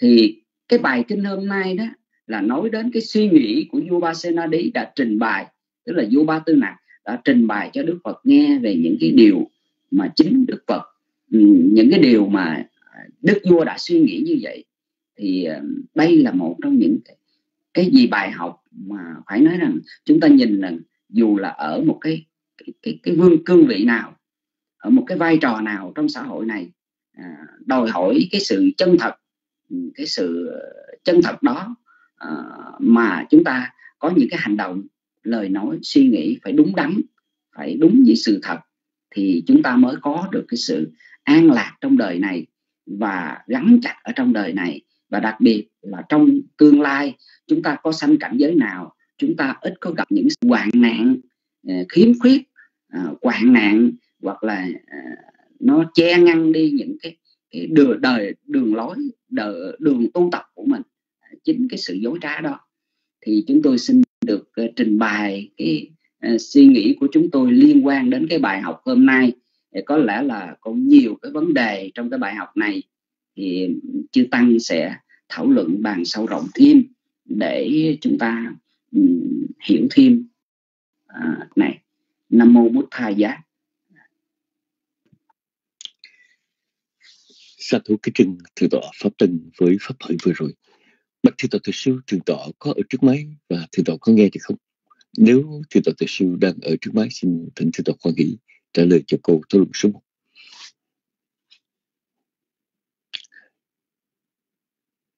Lần nữa xin được hỏi thượng tọa từ siêu thượng tọa có nghe được không? Thượng tọa từ quyền ơi thượng tọa có nghe được không vậy? Nếu thượng tọa từ quyền nghe được xin thượng tọa trả lời cho câu thảo luận số 1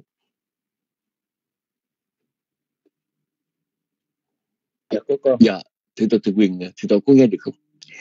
Thượng tọa từ quyền bài kinh nghiệm hôm nay đó là vua Ba Tư Nặc nói rằng đi nói rằng những người mà nhà vua chứng kiến đó, uh, khi mà làm cái công việc mà ờ, mà xử án trong pháp đình thì nhà vua thấy là những người uh, bà là một đại phú sắc lý lị đại phú gia chủ đại phú uh, có nhiều tiền bạc có nhiều vũ gốc nhưng mà vì do cái lòng tham do cái nguyên nhân tham đã có cái uh, dụng ý có cái cố tình để nói nói lời bộc ngôn.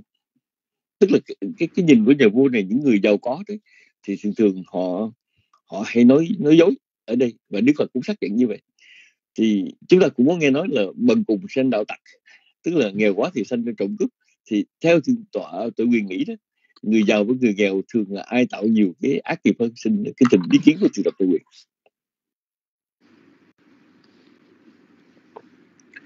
Nam mô bút thầy, giá nam mô tham ma, giá nam mô sang khai. Giờ thôi được chúng được nghe rõ. Và cảm ơn quý vị chúng con kính lễ đến đức phật giáo pháp và chúng tăng kính lễ đến sư phụ từ sư thượng đế đẳng thượng thập pháp đăng thập tân tụng hành lễ đức tự kỳ đế tự đức sư nguyên thông. Cũng chưa tăng đang hiện diện thân chào đến quý tôn nữ cùng chư phật tử. Dạ thì có thể nói rằng giữa người giàu và người nghèo ai là người sẽ tạo một điều ác hay là bần cùng thì sanh đầu tặc? Có thể nói rằng đứng trên cái nhìn chúng ta cho rằng là người giàu á, ít à, bởi vì họ họ đầy đủ ít có tạo hơn cái cái cái cái cái ác hơn cái cái, cái người nghèo. Thì có thể nói rằng nghèo giàu gì cũng tạo ác hết. cái ác nó theo cái người giàu. Cái cách mà kiểu như là xa đọa xa hoa rồi cách mà kiểu như là dùng áp lực đối với người ta rồi dùng uh, tiền bạc quyền thế danh uh, cái cái hơn người để mà chúng ta cũng bắt kẹt người rồi sự thật mà nói còn người nghèo quá thì bởi vì nghèo quá đi cho nên đối khổ phải bươn trái chúng ta tạm gọi cái giành giật thì ở đó họ chỉ ờ, họ chỉ có cái tâm cướp thôi chứ không có chưa có cái tâm mà để, để mà mà, mà nó gây gớm hơn. Và chính có thể nói là cái trong cào đó đó thì chúng ta thấy nó được cái điều tốt. Nó không phải nghĩ tới cái chuyện mà mà sang đọt coi như là bần cùng đến nỗi mà phải phải đi thế này thế kia. Những điều mà những người giàu này nó có, có cách mà có cách làm coi như là người ta cũng cũng gây nhiều cái à, cái điều bất ổn cho đời. Cái đó là sự thật như vậy đó. Chúng ta biết người chẳng hạn như bây giờ người giàu họ trốn thuế đâu phải người nghèo mới trốn thuế người giàu cũng trốn thuế người giàu trốn thuế mà người giàu trốn thuế nhiều hơn đó. Trốn thuế coi như họ khéo léo họ, họ dùng mọi cách à, để để trốn tránh thuế má nếu mà nói theo bên nước ngoài còn thí dụ như hoặc là họ dùng còn nhiều cái nó đỡ hơn trên cái nhìn thì cướp bóc á, thì bằng cùng thì chúng ta thấy họ ít. Nhưng phải nói rằng là khi người giàu đó hay khi người có quyền thế họ làm cái điều ác thì chúng ta coi nó nó rất là nhẹ nhẹ nhàng như chính là một bàn tay sắt bọc nhung. Còn cái bàn tay mà chúng ta thấy nó nó đen đúa nguyên một cái vũ khí chúng ta thấy xuất hiện thì chúng ta không sợ. Thì chúng ta biết đó là vốn nó như thế nhưng quả thật như như như một một bàn tay sắc bọc nhung thì như thế nào? Thì ở đây ừ, nếu như hỏi rằng giữa cái cái bần cùng mà mà mà, mà sanh đậu tặc à, vậy thì người giàu liệu có sống tốt hơn không? Cái điều này chưa chắc đâu. Cái điều này chưa chắc đâu. Bởi chúng sinh trong cái giàu đó, thì nó nó xử lý theo cái giàu xử lý cái ác theo cái giàu rồi trong cái cái nghèo khổ thì nó có cái xử lý cái ác trong cái nghèo khổ tuy thấy cái nghèo khổ như vậy, nhưng chết ít à. người ta chỉ dành một người người ta người ta chỉ chỉ cướp của một người, hai người nhưng đối với cái người giàu, họ cướp công, cướp của của nhiều người nữa.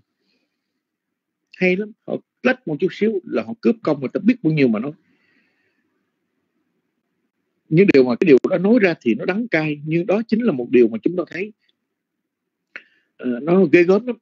Chẳng hạn còn á thí dụ người người có có tiền của đó người ta không có không có trực tiếp người ta đánh đập nhưng điều người ta suối kêu người ta đánh đập năm ba người đánh một người còn một người một hai ba thấy người ta hung dữ người ta đánh có một người nhưng còn người người giàu đó kêu năm sáu người đánh một người thì sao đây? Đó là cái cái ví dụ nó, nó, nó thực tế vô cùng nhưng điều mà nó là thật như vậy đó. Một cái nói của một cái người bởi vì cái người mà họ uh, cái người mà khôn khéo hay cái người mà mà mưu toan cái người mà tính toán sắp xếp thì thôi phải nói là sát nút sát nút hết. Ở đây cho nên vì vậy nói rằng nếu mà nó bần cùng để mà sanh đạo tặc để mà mà coi như là là, là tồn tại thì chúng ta thấy coi như vậy đó mà nó lại là không là một vấn đề. Mà mà cái vấn đề này có thể giải quyết được cùng sanh đầu tặc như điều mà giàu sang thì phải nói là cái đó nó ghê lắm. Nó nó dùng những cái quyền hành hay dùng những cái cái mưu mẹo dùng những cái cái tính mà để mà mà gây nhiều cái cái cái đau thương. Cho nên ở đây là người giàu hay người nghèo sống tốt uh, sống tốt hơn ai thì bằng cùng sinh đầu tặc thì cái điều này là do tâm lý do cái cái sự uh, lòng tham và lòng sân của một con người mà chúng ta uh, khi thấy diễn ra thôi. Chứ nếu mà xác định rằng cái phần đông thì phải nói chung chúng sinh phàm phu tức là tranh đấu hơn thua dẫm đạp và cư xử với nhau bằng những cái hành động bằng những cái lời nói và bằng sự suy nghĩ nó khác khác nhau thôi. Người ta không đánh đập nhưng người ta nói nặng người ta không đánh đập nhưng người ta sĩ vả người ta không đánh đập nhưng người ta người ta lại có những cái lời nói. À, tuy nó nó nó nghe nó nhẹ nhàng nó mỹ miều nhưng điều mà sau đó đó nó như một bàn tay sắt bột nhung làm cho người ta suy nghĩ tới người ta phải đắng cay người ta phải tuổi hờn rồi có những người ngồi đó mà suy nghĩ người giàu họ, họ ác á, nếu mà họ ác á, thì có nó thể nói rằng là chết với họ thì ở đây chính là cái đứng trên cái nhìn của chính con là như vậy. Nhưng điều mà còn dĩ nhiên rằng mỗi chúng sinh dĩ nhiên nếu ai người có giàu phải, phải có có tiền thì có quyền có quyền thì thì có quyền có tiền nữa thì người ta hành hạ có quyền có tiền nữa thì người ta nếu như mà không tu thì không có cái thiện tâm ở trong lòng đó, thì nó rất là ghê gớm nó rất là nguy hiểm. Nó phục vụ cho cái cái lòng tham phục vụ cho cái cái nô lệ cho chính họ thì đó chính là tạo nên nhiều cái cái ca oán nhiều nên cái đau khổ sinh linh trong cuộc đời này. Chúng ta thấy ông vua mà ác cái người cái người mà mà hành pháp lập pháp hành pháp nếu như không tốt đẹp thì chắc chắn rằng dân chúng rất là đau khổ. Đó là sự thật. Mà cũng vậy vua mà nếu như vua hiền á, thì dân chúng được hưởng nhờ mà nếu vua ác á, thì sinh linh đầu tháng nó như thế thôi. Như vậy thì ông vua đó đó ông có phước nhiều hơn là thần dân nhưng chưa chắc rằng cái thần dân người ta làm một việc ác bằng chính chính ổng hoặc là những ổng quan quyền. Nói chung từng thứ bậc thứ bậc trong cuộc đời này nó đã là như thế. Và thì đây chính là cái cái sự suy nghĩ của chính con là vậy. Và cái nghiệp quả thì thì chúng sinh phạm phu thì nó sẽ khó vượt qua. Và thì đây chính là cái cái um, cái cái câu trả lời của chính con. Còn một cái nữa đó nếu mà vấn đề mà nó chính mà hưởng cái phước mà để cái phước mà, mà sinh tử trong cuộc đời thì nó nó lại gây nhiều cái cái cao an cao án nữa. Và đây chính là à, câu trả lời của chính con là vậy. Nam mô thầy giá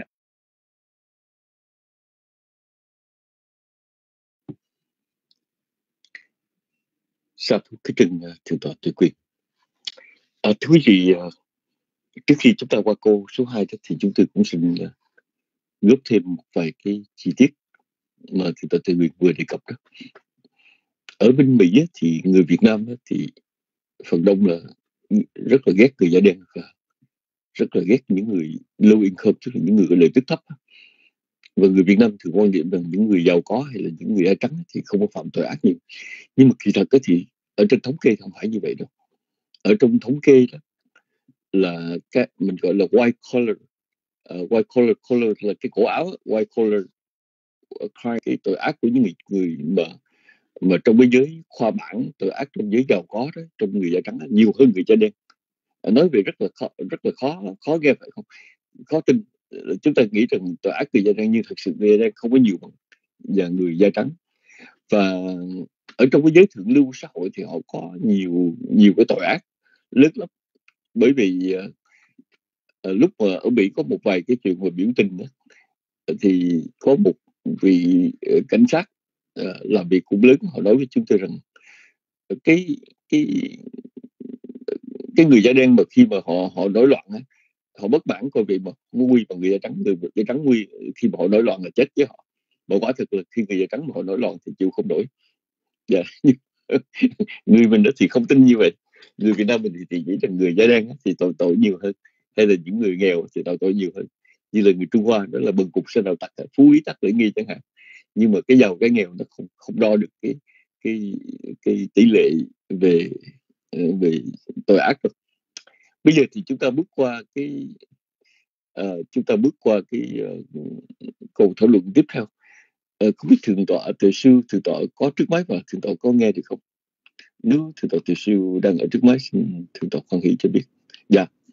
Mà thượng tọa từ sư trong trong bài kinh ngày hôm nay đó thì vua ba tư lại chia sẻ một điều rằng những cái thành phần mà uh, giàu có khoa bản thế lực trong xã hội thì thường hay nói dối vì ờ, vì cái lý do thế này khác. Nhưng mà người mình đặc biệt là của người phật tử nữa mình nói là có những cái nghề như nghề buôn bán chẳng hạn. Có buôn bán phải ăn gian nói dối không ăn gian nói dối thì muốn buôn bán được. Và lâu ngày thì chúng ta quan niệm rằng trong tất cả các nghiệp thì nói dối là nghiệp nhẹ. Thật sự nói dối có là nghiệp nhẹ không? Xin ờ, kính thỉnh chư tổ khoan hỷ giai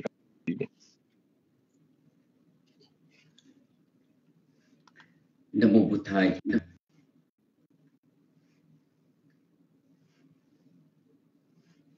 Kính bạch chư tăng kính thưa à, quý phật tử.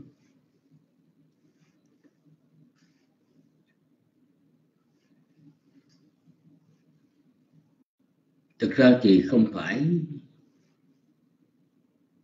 cái nghề nghiệp mình nó tạo ra cái sự nói dối. Và chính do cái tâm xảo trá của con người, bất cứ trong cái lĩnh vực nào, nghề nghiệp nào, con người ta cũng có thể nói dối được.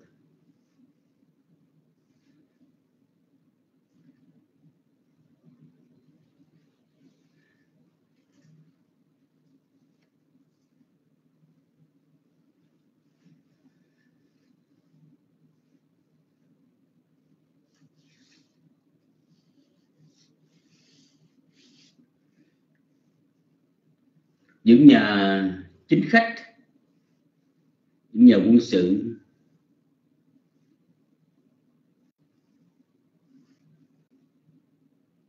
Họ cũng gian xảo.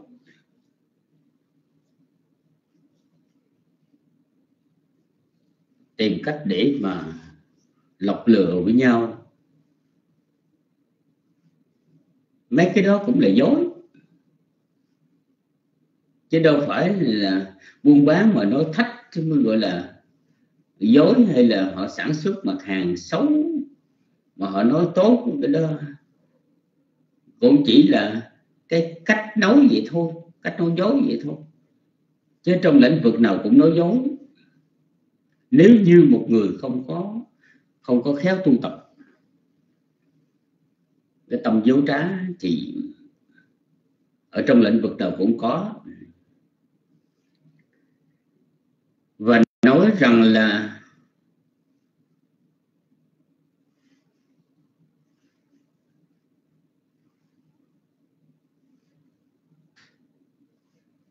cái quả của cái nghiệp nó dối, cái bất thiện nghiệp nó nó dối, nó cũng không phải là nhỏ đâu, thưa quý vị. Nó không phải nhỏ đâu.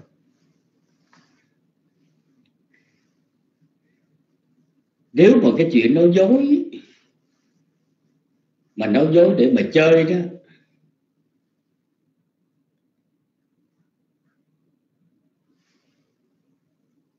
Thì có đó thì nó đưa đến cái quả quả dị thuật nhẹ thì phải.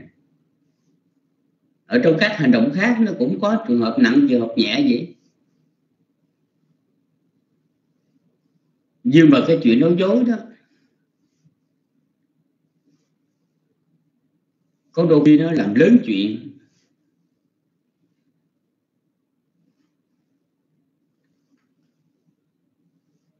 Có làm mà nói không làm, nói dối đó cũng là lớn chuyện.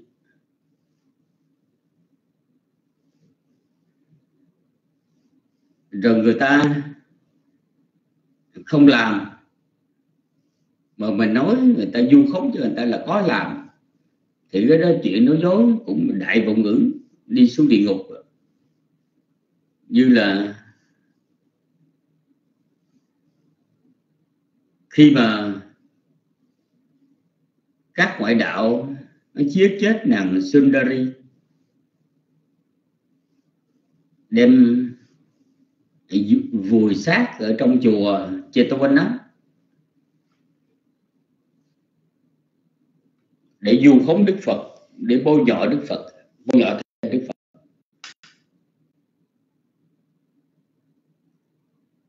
Thì đức phật ngài có thuyết một cái bài pháp trong một câu kinh à, có cú.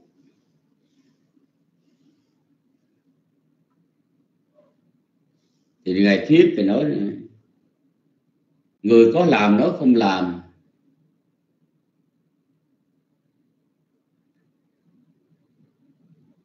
Người mà chuyện người ta không làm mà nói có làm, thì cả hai tội đồng đẳng. Chết sanh xuống địa ngục bây giờ thí dụ như họ như cái sự kiện nó xảy ra.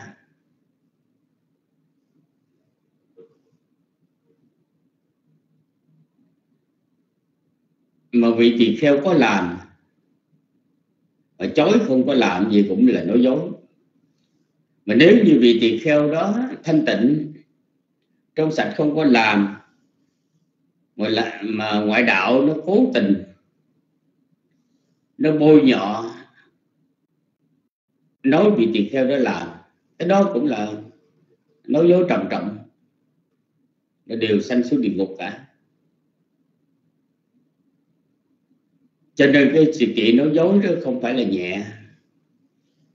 Một lần khi đức thế tôn, ngài đến tại ambalatthika vào buổi chiều, ngài đến nơi trú xứ của Sayyid Rahula mới bê cái, một cái một cái chậu nước cho Đức Thế Tôn người rửa chân. Thì Đức Thế Tôn sau khi rửa tay chân ngày chừa lại một ít. Ngài hỏi rằng, này sa này Rahula con có thấy một chút ít nước ở trong cái chậu con, bây giờ con thấy. Đức Phật nói cung vị phẩm hạnh. Của một người nó cố tình nói dối là nó có chút ít giá trị à.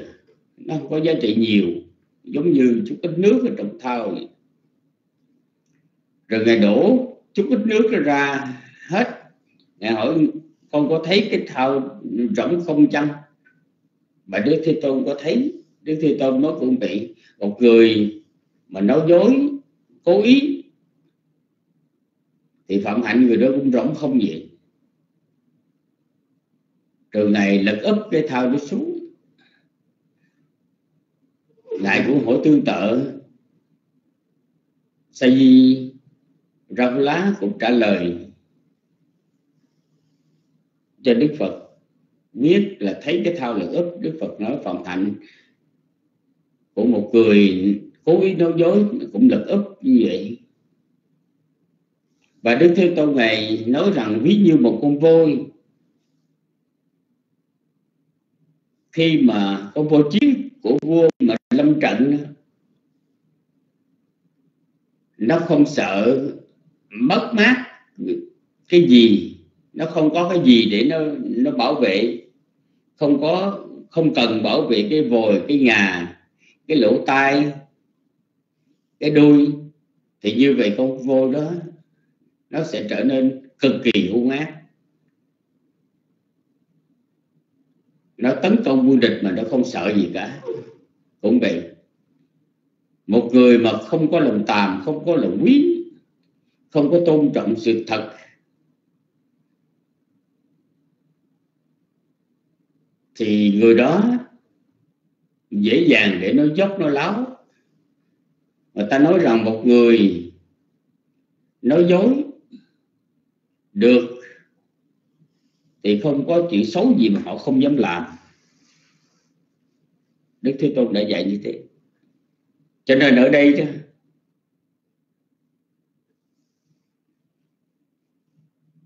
một người mà nói dối trước hết là sẽ bị người khác khinh khi. Người ta coi thường, người ta không có tín nhiệm. Người đó không có được cái sự tín nhiệm trong cái lời nói. Rồi thứ hai nữa là người mà quen tìm cách để mà thối thoát, để đưa bằng cái sự bằng cái sự lường gạt người khác, lời nói dối, thì không có chuyện xấu gì mà họ không dám làm. Bởi làm xong họ sẽ họ sẽ tránh né đi. Dầu phải nói dối. Cái chuyện thứ ba nữa là cái người mà nói dối và đem đến cái sự tai hại, bất lợi cho người khác. Thì chính bản thân người đó sau khi chết sanh sẽ địa ngục. Cái trường hợp mà các vị phán quan, họ nhận tiền hối lộ, rồi họ nhìn một cái bản án và nhìn bằng một cách thiên lệch do tư vị. Họ phán quyết sai sự thật, bóp méo sự thật. Đúng cho là sai sai cho là đúng. Thì người đó là đại ngôn ngữ. Nói dối hại trầm trọng. Bởi vì một lời phán quyết đó có thể làm cho cái người vô tội phải bị tù đài hay là phải bị tử hình? Thì như vậy, cái ác nghiệp này cũng không phải nhỏ, thưa quý vị. Không phải nhỏ đâu. Cho nên, người phật tử chúng ta đừng nghĩ rằng là cái chuyện nói dối chỉ là cái nghiệp nhỏ, không phải. Cái nào cũng là cái nghiệp nặng hết. Chứ không phải là một bất thiện, nghiệp, bất thiện nghiệp nhỏ đâu nó tùy theo cái lời nói dối đó. Nó có cái hệ quả như thế nào, nó có cái hậu quả như thế nào. Thì lúc đó chúng ta mới nói cái này nặng, cái này nhẹ thôi. Chứ còn nói chung tức là nói dối. Là mang cái cái nghiệp, bất thiện nghiệp ác mà Đức Thế Tôn ngài đã dạy cho Saji Lá này Rahula con nên học tập rằng ta không nói dối, dù nói dối để mà chơi. Cho nên, chúng ta cũng phải hiểu rằng nó tùy theo cái hệ quả nha. Khi mà một vị tỳ kheo muốn được lợi đắc, muốn được lợi lộc, phát sanh, cho nên người này khoe pháp bậc câu nhân. Pháp chưa chứng đắc. Mà nói rằng, tôi đã chứng, tôi đã đắc thiền này, định này, đạo này, quả này, vân vân. Thì vậy là phạm tội Pachit, Parachika Parachika, tức là triệt khai. Hay là cái tội đó asangaso tức là mất cộng trụ cái chữ parajika nó không phải là cái nghĩa là bất cộng trụ chứ asangaso như ở trong điều luật mà Đức Phật nói là parajiko asangaso tức là triệt khai bất cộng trụ cho nên chữ bất cộng trụ nó xài chỉ chữ asangwaso tức là không có cho chung sống với các vị tỳ kheo. Cái tội đó quý vị thấy nặng đấy chứ. Còn cái chuyện mà bị tỳ kheo nói giới bình thường Samacha nu sa qua đề pa chít dân tức là cái chuyện thông thường biết mà vẫn nói dối, biết sai mà vẫn nói dối. Thì vậy vị tỳ kheo phẩm ưng ưng đô trị và chích giá thôi, nhẹ. Cái tội nó nhẹ hơn cái tội cá tội triệt khai. Thì như vậy cho thấy rằng là cũng đồng thời là nói dối. Nhưng mà dối, nói dối mà mang cái tính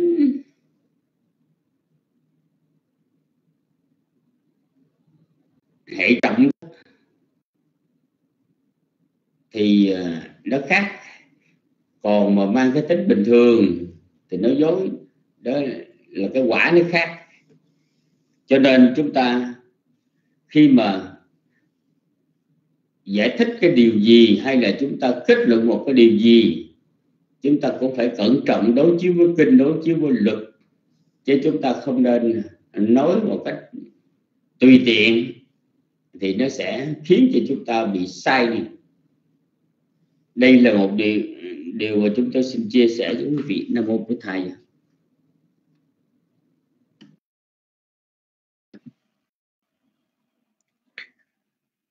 Sa thú kính trình thưa tổ tiểu sư.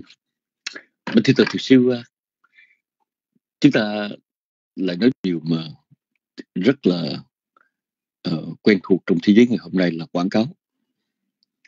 Ờ, sống trong thế giới này thì để bán một cái món hàng đó thì ta phải quảng cáo. Và đôi khi cũng rất là khó so sánh là cái này nó hơn cái kia bao nhiêu. Ví dụ như uh, uống Pepsi với Coca-Cola hay là một điện thoại Samsung và cái iPhone nhé có nhiều khi người ta người ta thấy rằng uh, phải quảng cáo và quảng cáo thế là ăn tiền đó phải quảng cáo có ấn tượng mạnh đó thì mới có thể thuyết phục được người tiêu thụ mua. Và đã nói quảng cáo thì thường đó là cường điệu.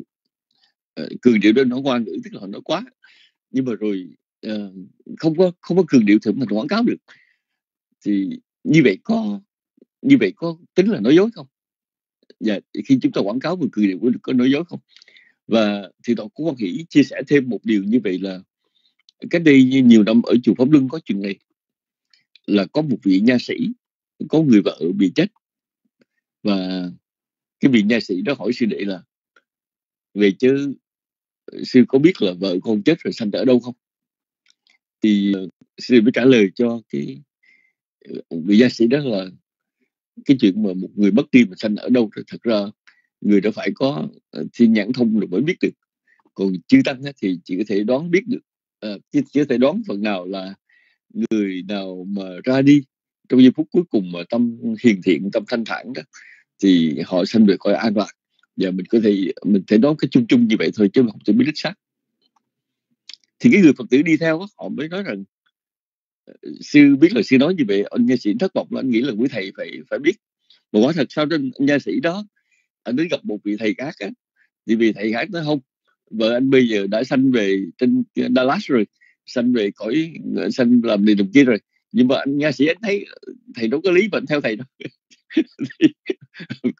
Và rất có nhiều chuyện xảy ra trong cuộc đời lắm.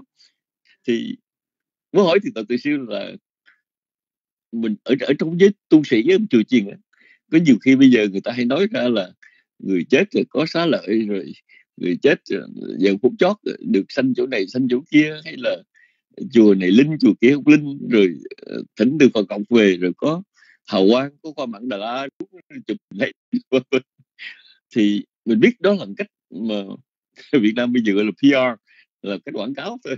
Nhưng cái quảng cáo như vậy có tính là mộng ngôn hay không? Xin ờ, kính thỉnh thượng tọa từ sư khoan hỷ uh, uh, chia sẻ một vài suy tư với thượng tọa về điểm này kính thỉnh thượng tọa.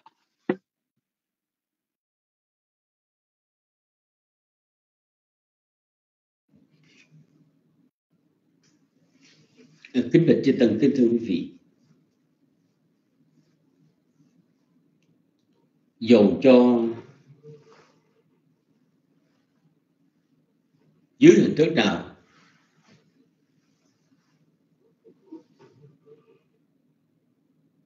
Nhưng mà có tâm.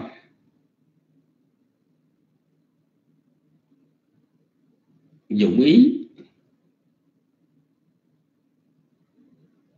Một là dùng ý nói không đúng sự thật.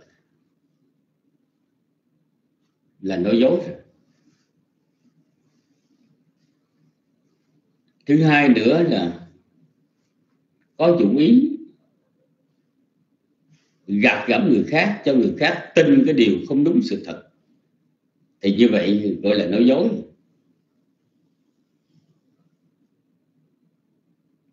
Cho nên chúng ta khổ cần phải mổ xẻ trình bày chi tiết, trường hợp này, trường hợp kia, vân vân. Chúng ta chỉ cần đưa đến hai kết luận như vậy.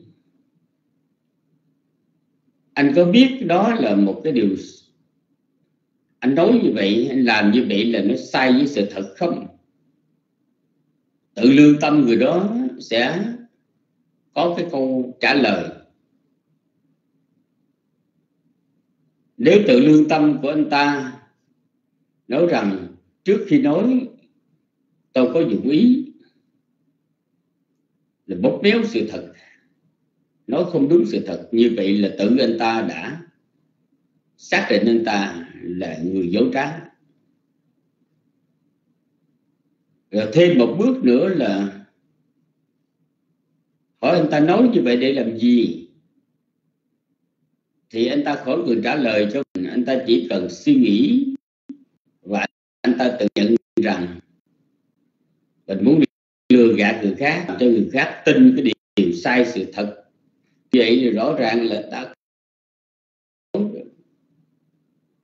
cái điều đó chúng tôi cần phải phải bàn cãi làm cái gì nhưng mà trong trường hợp này đó, trong câu hỏi thì hỏi rằng cái sự quảng cáo có phải là một lời nói dối không?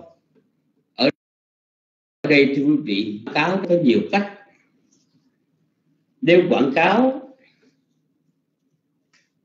mà lập cái kịch bản, rồi đọc lên, rồi nói lên, thì như vậy là nói dối còn nếu quảng cáo chỉ là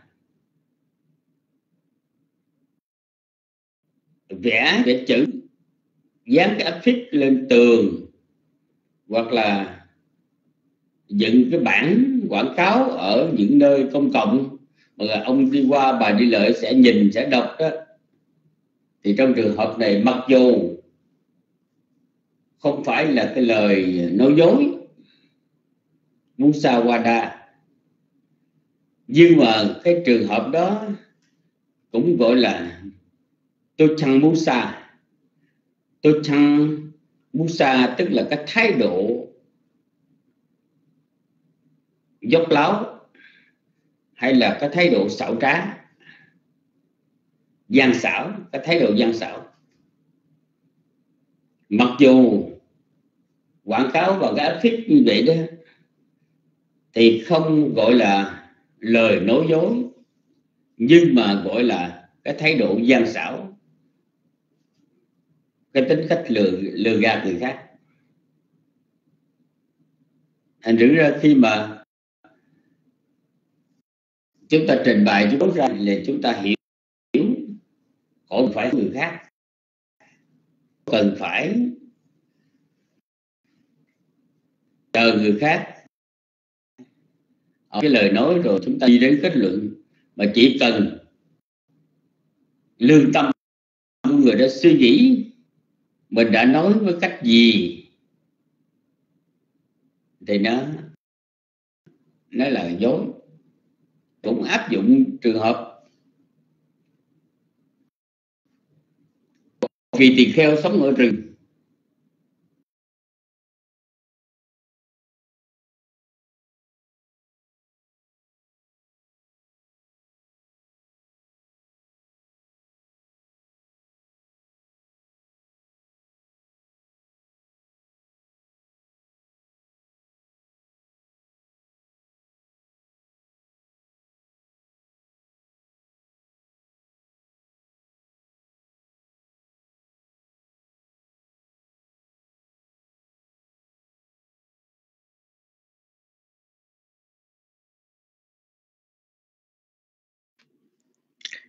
Bạch Thi Tọa Từ Siêu Thượng Tọa khoan hỷ xem lại mic ở trong room không còn nghe được nữa. Xin thỉnh Thượng Tọa khoan hỷ trở lại.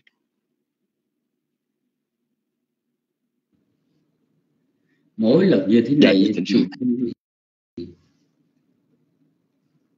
à, mỗi lần mà chúng tôi đang nói mà nó bị trục trặc cái là do mất hứng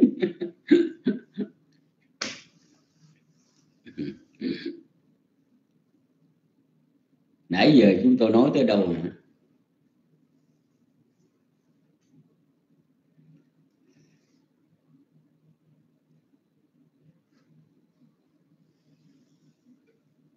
khi đó, người thợ săn họ xuất hiện họ thấy bị tỳ kheo gỡ, tháo cây bỉ, thả con nai là cái sở sở hữu của ông ta. Ông ta nói vì tỳ kheo đó là phạm cái tội ở trộm cướp. Vì tỳ kheo này ái nái mới về hỏi đức phật. Đức phật ngài hỏi rằng lúc người ngươi thả thả với tâm gì? Bạch thế tôn, con thấy hôm nay con thương xót cho nên thả đức phật nói vậy gương không có phạm tội, không có phạm tội trộm cướp được một vị tỳ kheo khác cũng ở rừng. Vì hàng ngày người thợ săn đi qua đi lại thấy tỳ kheo và cho rằng buổi sáng mà đi làm nghề mà thấy một kẻ sa môn đầu nên lên. Cứ lẩm bẩm lẩm bẩm, giống như là ông nguyền và ờ, sĩ vả bị đó cho nên vì tỳ kheo này phạm phu cũng ức, cũng tức ở trong bụng. Một ngày người thợ săn dính con, vì tỳ kheo đó, ta sẽ cho người thợ săn này thất vọng. Rồi tháo bậy bỏ. Nghèo giải thoát vì người thợ săn cũng chạy đi tới và thấy hiện vì đó là tư của mình. Biết được tâm tư thì theo đó ngài nói rằng ngươi đã phạm tội trộm cướp rồi. Thì thứ gì tất cả những hành động đó tốt hay xấu thiện hay bất thiện, nó tùy theo cái tâm của người đó, cái tác ý của người đó suy nghĩ và cố ý làm. Cho nên cái chuyện bất cứ một hành động gì họ có tính cách tự mình biết lấy, mình cố tình mình nói sai sự thật là mình nói dối. Mình cố tình muốn cho người khác tin sai sự thật, đó cũng là nói dối.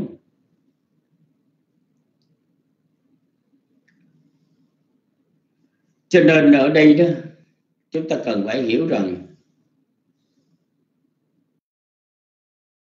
lời nói dối, nó phải được thể hiện qua cái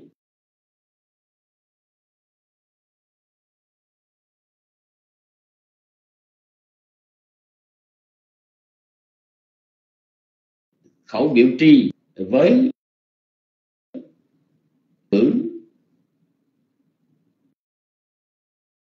mà khẩu biểu tri nó gọi là khẩu thanh biểu tri, khẩu thanh biểu tri.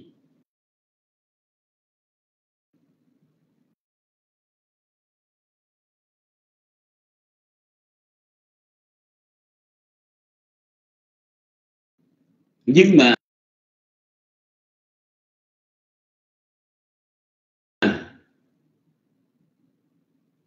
do quảng cáo không có dùng biểu tri.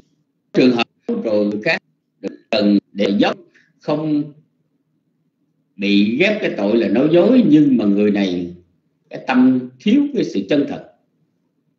Cái nhà sản xuất đó, cái nhà quảng cáo đó thiếu cái sự chân thật. Thì cũng mang nghiệp vòng vòng đâu đó thôi.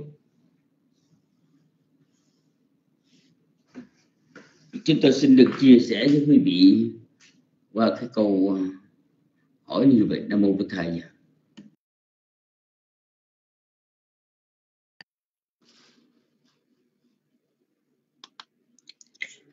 sa thú à, kính trình thượng tọa thượng sư xin thỉnh sư huynh đi nghỉ. Thượng tọa pháp đăng ấy à, hình như thượng tọa pháp đăng đã rời rụng rồi. Thượng tọa pháp tân ơi thượng tọa có còn ở trước máy không? Nếu thượng tọa pháp tân còn ở trước máy xin tỉnh thì tôi trả lời cho câu thảo luận số 4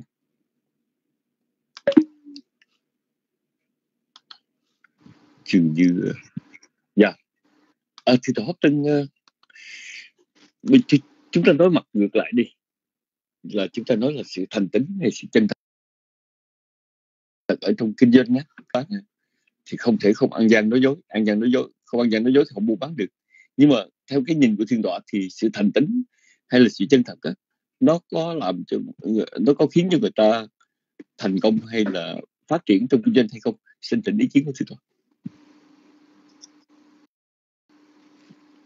Dạ, à, Nam Mô bút Thầy Giá, Nam Mô Tham Ma Giá, bồ Sanh Khai Giá. con thành kính đến lễ ân đức tam bảo kính đến lễ tội giác đẳng tòa Phật đăng tòa tự quyền tòa minh hạnh cùng chư tăng. Ờ, kính chào ờ, quý cô tu nữ và thân chào quý thiện nam tín nữ ờ, con nghĩ ở đây đó thì cái ừ, cái cái sự tính thành này nó là cái cái sợi dây kết nối, sự lâu dài bền chặt còn, nếu như một người mà buôn bán thì con nghĩ rằng sự thật ra thì à, cái à, nó, mình à, một người mà ra kênh buôn bán thì nhiều khi người ta cũng cần phải có những cái cái sự nhiều khi những cái điều không đáng nói hoặc là họ không có không có để, đáng để nói ra. Họ không có nói sự thật. À, để nhằm một cái à, lý do này, lý do nọ đó, để là họ được tồn tại hay là họ được à, phát triển lợi lộc. Thì nhiều khi con nghĩ món đồ đó khi họ mua cái món đồ đó, họ bán cái món đồ đó thì họ có thể nói nó không đúng với cái sự thật đó để rồi họ được cái cái lợi hay là họ được cái cái cái cái, cái khách hàng mua cho mua cái món hàng cho, cho họ. Thì con nghĩ rằng trong cái việc buôn bán à, cũng có những cái việc như vậy. Chứ không sao tránh khỏi. À, khó tránh khỏi. Nhưng mà cái cái sự tính thầm đó là chân thật đó. Con nghĩ rằng dù là ở trên phương diện nào cũng vậy. Thì cái đó là cái sợi dây gắn kết lâu bền trên cái cái đối tượng như là trên giữa người này với người kia. Bởi vì à, cái gì đó lẽ thật ấy, và chính sự tính thành của mình để cho người khác họ có niềm tin về mình con nghĩ rằng cái điều đó rất, là quan trọng. Ngay cả cái người buôn bán hay là cái người này người nọ giữa người với người với nhau thì ờ, cái sự ờ, tính thành chân thật của mình làm cho người khác họ khi họ tiếp xúc với mình nó có sự gần gũi hơn sự gắn kết lâu dài hơn nhưng mà sự thật giữa cái ờ, ở đời đó, thì khi mà mình ờ, ra ngoài mình kinh doanh hay làm cái này cái nọ, nhiều khi họ cũng không cần phải là ừ, mọi chuyện họ cũng đều là là là chân thật hết. Tại vì có những điều đó là tuy không nói ra ờ, nhưng mà là cũng ngấm ngầm hiểu rằng là một cái sự gì đó. Nếu mà mình nói thật ra thì đó là cái sự thất bại hay là đó cái sự đổ vỡ. Thì con nghĩ rằng ờ, họ cũng không bao giờ mà hoàn toàn là mọi chuyện họ đều là là là là, là, là chân thật hết. Con nghĩ là như vậy dù là trên cái phương diện nào. Nhưng mà con nghĩ rằng là chính cái cái cái đức tính cái đức tính tính thành và chân thật đó nó là một cái sợi dây gắn kết. Có nhiều khi đó là ừ, họ chỉ qua một chuyến hàng à, một lần bán, buôn vậy thôi.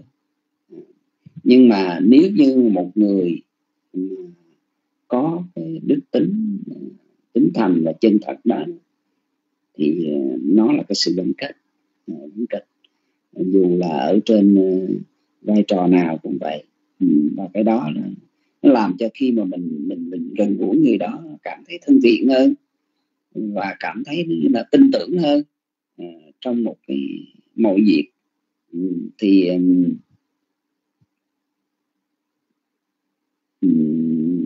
có những chuyện họ không cần phải nói ra uh, nhưng mà hiểu ngầm là như vậy uh, trong cái sự buôn bán hay là kinh doanh.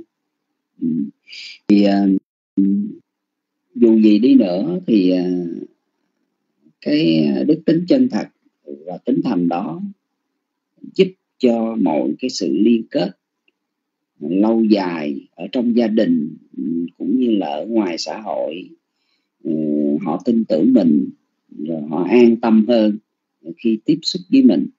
Thì như vậy đó thì à, ừ, cái à, cái cái cái cái, cái, cái, cái sự chân thật đó nó nó là một cái sự gắn kết lâu dài hay là cái chân thật cái cái đó nó làm cái cái sự gắn bó lâu dài ở trong cái khi mà một người ờ, có cái sự giao tiếp với nhau uh, tin tưởng hơn trong mọi phương diện.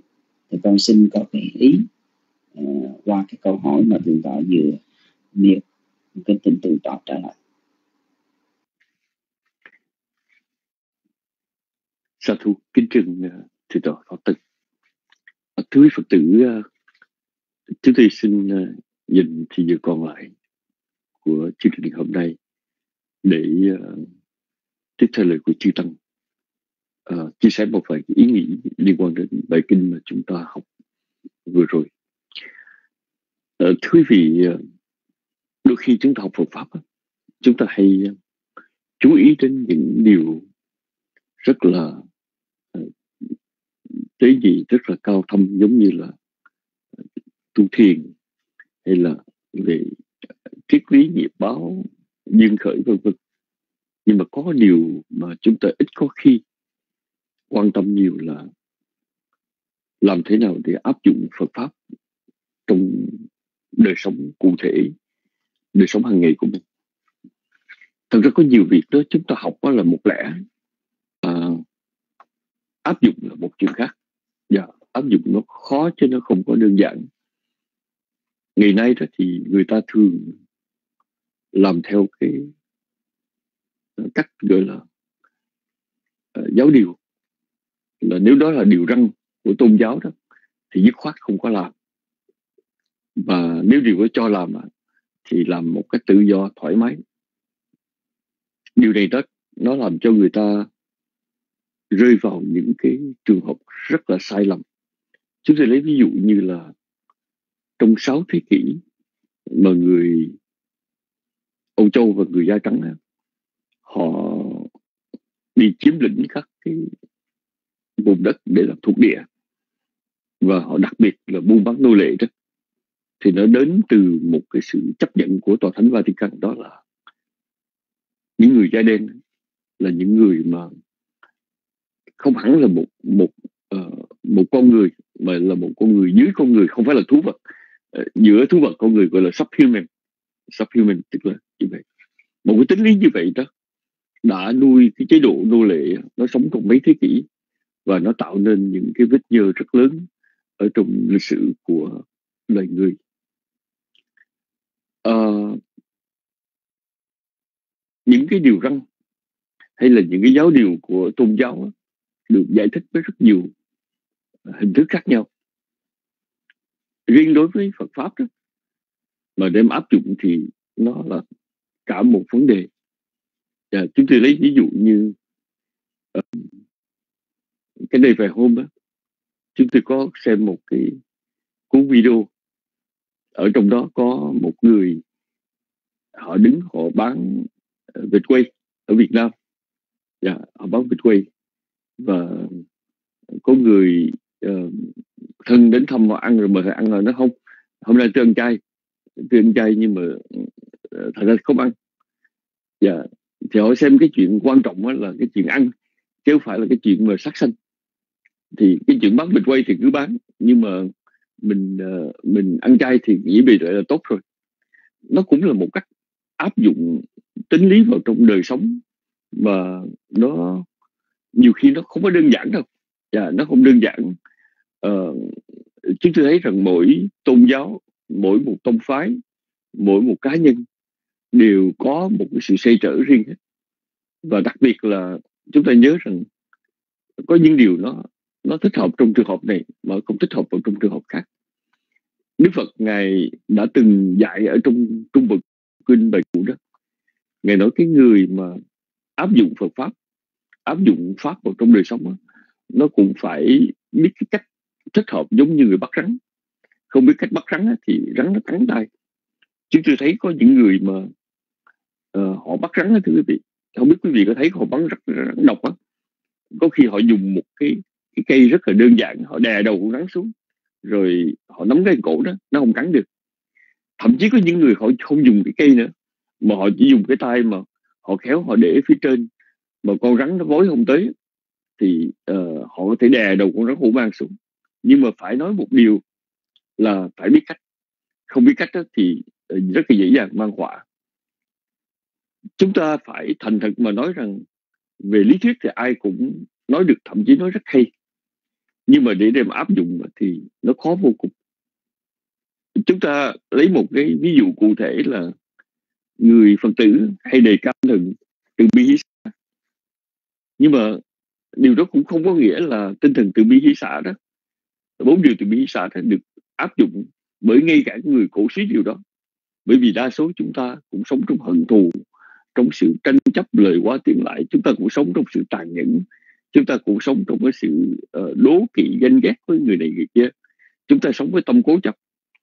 Thì cái từ bi xã chúng ta nói chỉ là nói ngoài miệng thôi nói cách đại bôi nói cho có nói thôi vì vậy khi mà đi vào trong cái thế giới của tôn giáo thế giới của tinh thần hay bất cứ lĩnh vực nào thì chúng ta phải trở về lại với một cái quan niệm nền tảng đó là con người hay là chúng sinh vốn dĩ là sống với phiền não sống trong phiền não. Và nó, nó tin một cách tuyệt đối thì không nên tin và nhất là chính bản thân của mình.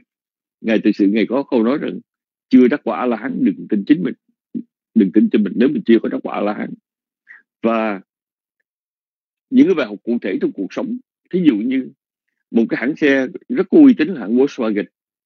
Hãng Volkswagen là một hãng xe lớn của thế giới và hãng Volkswagen là một cái hãng xe hơi của Đức nha, chứ không phải của China. Của Đức Đức là một quốc gia mà tương đối là có được cái sự tín nhiệm về máy móc. Vậy mà thời gian mấy năm trước đây họ phải đóng một số tiền phạt rất lớn cho chính phủ Mỹ bởi vì cái tội lường gạt. Tội lường gạt đó là gì?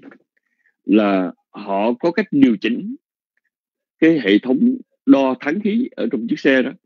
Ví dụ như là cái mức độ cho phép là 4 thì họ nói rằng chiếc xe Volkswagen khi nó tiết ra cái ờ, emission thắng khí chỉ có ba thôi, nhưng mà kỳ thực nó tới năm lực yeah. Dạ.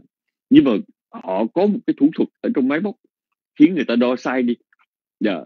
nó nó mất rất là nhiều uh, năm tháng đến khi người ta phát giác ra rằng à cái hãng này lừa gạt và họ cũng phải chịu thôi ngay cả ông sếp của cũng phải từ chức nhưng mà phải nói một điều đó là là là ở trong cái thế giới mà trên thương trường á uh, ngay cả chúng ta biết rằng có những cái ngân hàng của Nhật Bản như cái ngân hàng Sumi uh, Moto đó thì uh, thứ vị có lúc họ không dám công bố cách minh bạch về tài chính để họ sợ là cái cổ phiếu nó đi xuống. Nhưng mà tới khi người ta phát giác ra thì cũng phải chịu tiền phạt. Mà chuyện đó nhân nhãn nhân nhãn khắp nơi trên thế giới. Nên chi mỗi chúng ta đó đều rất cần phải tự nhắc với chính mình rằng một đó đây không phải là điều để chúng ta dùng để phê phán người khác mà đây là điều mà chúng ta dùng để chúng ta cảnh tỉnh với chính mình yeah. Dạ. chúng ta đã học một bài học là cái người giàu có mà sống say mê dục lạc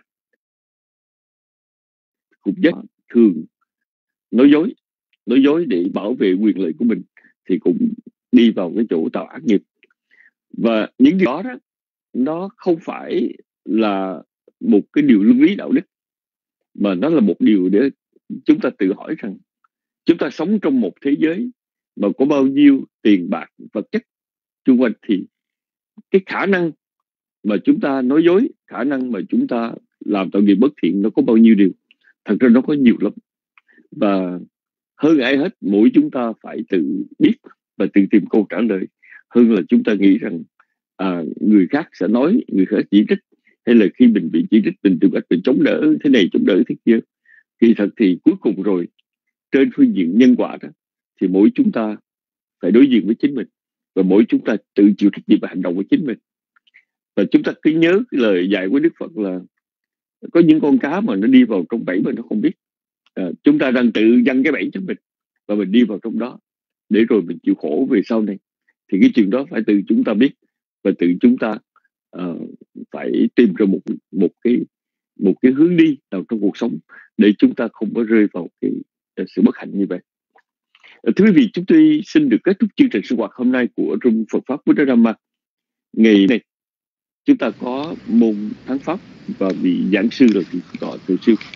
Kính đại lễ chư tôn đức, thân chào tạm biệt quý phật tử. Chúc tất cả một ngày ăn một đêm an lành. Hẹn gặp lại trong chương trình ngày mai. Nam mô phật thầy. Sa thú sa thú lành thai, chúng con thành kính tri tòa giác đẳng đã đúc kết cho bài học ngày hôm nay kính cảm ơn quý sít con cảm ơn sư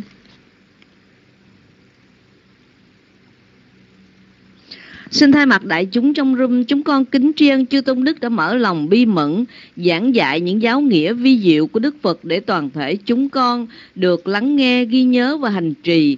Trong tôn chỉ không làm các ác nghiệp, huân tu các hạnh lành, thanh tịnh hóa tâm ý như lời chư Phật dạy. Kính cảm ơn quý ốp đã yểm trợ cho các phần hành trong lớp học được hoàn tất mỹ mãn. Chúng con kính chúc chư Tôn Đức và quý đạo hữu luôn an lạc các tường trong chánh pháp nhiệm màu của Đức Thế Tôn. Để kết thúc chương trình xin chúng ta nhất tâm hồi hướng, nguyện công đức đã làm kết duyên lành giải thoát, nguyện hồi hướng chư thiên hàng thiện thần hộ, nguyện các bậc hữu ân đồng thừa tư công đức, nguyện chánh pháp trường tồn, chúng sanh cầu giải thoát. Nam mô bút Tha giá.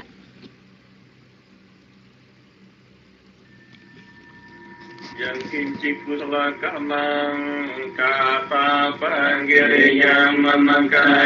navaja manas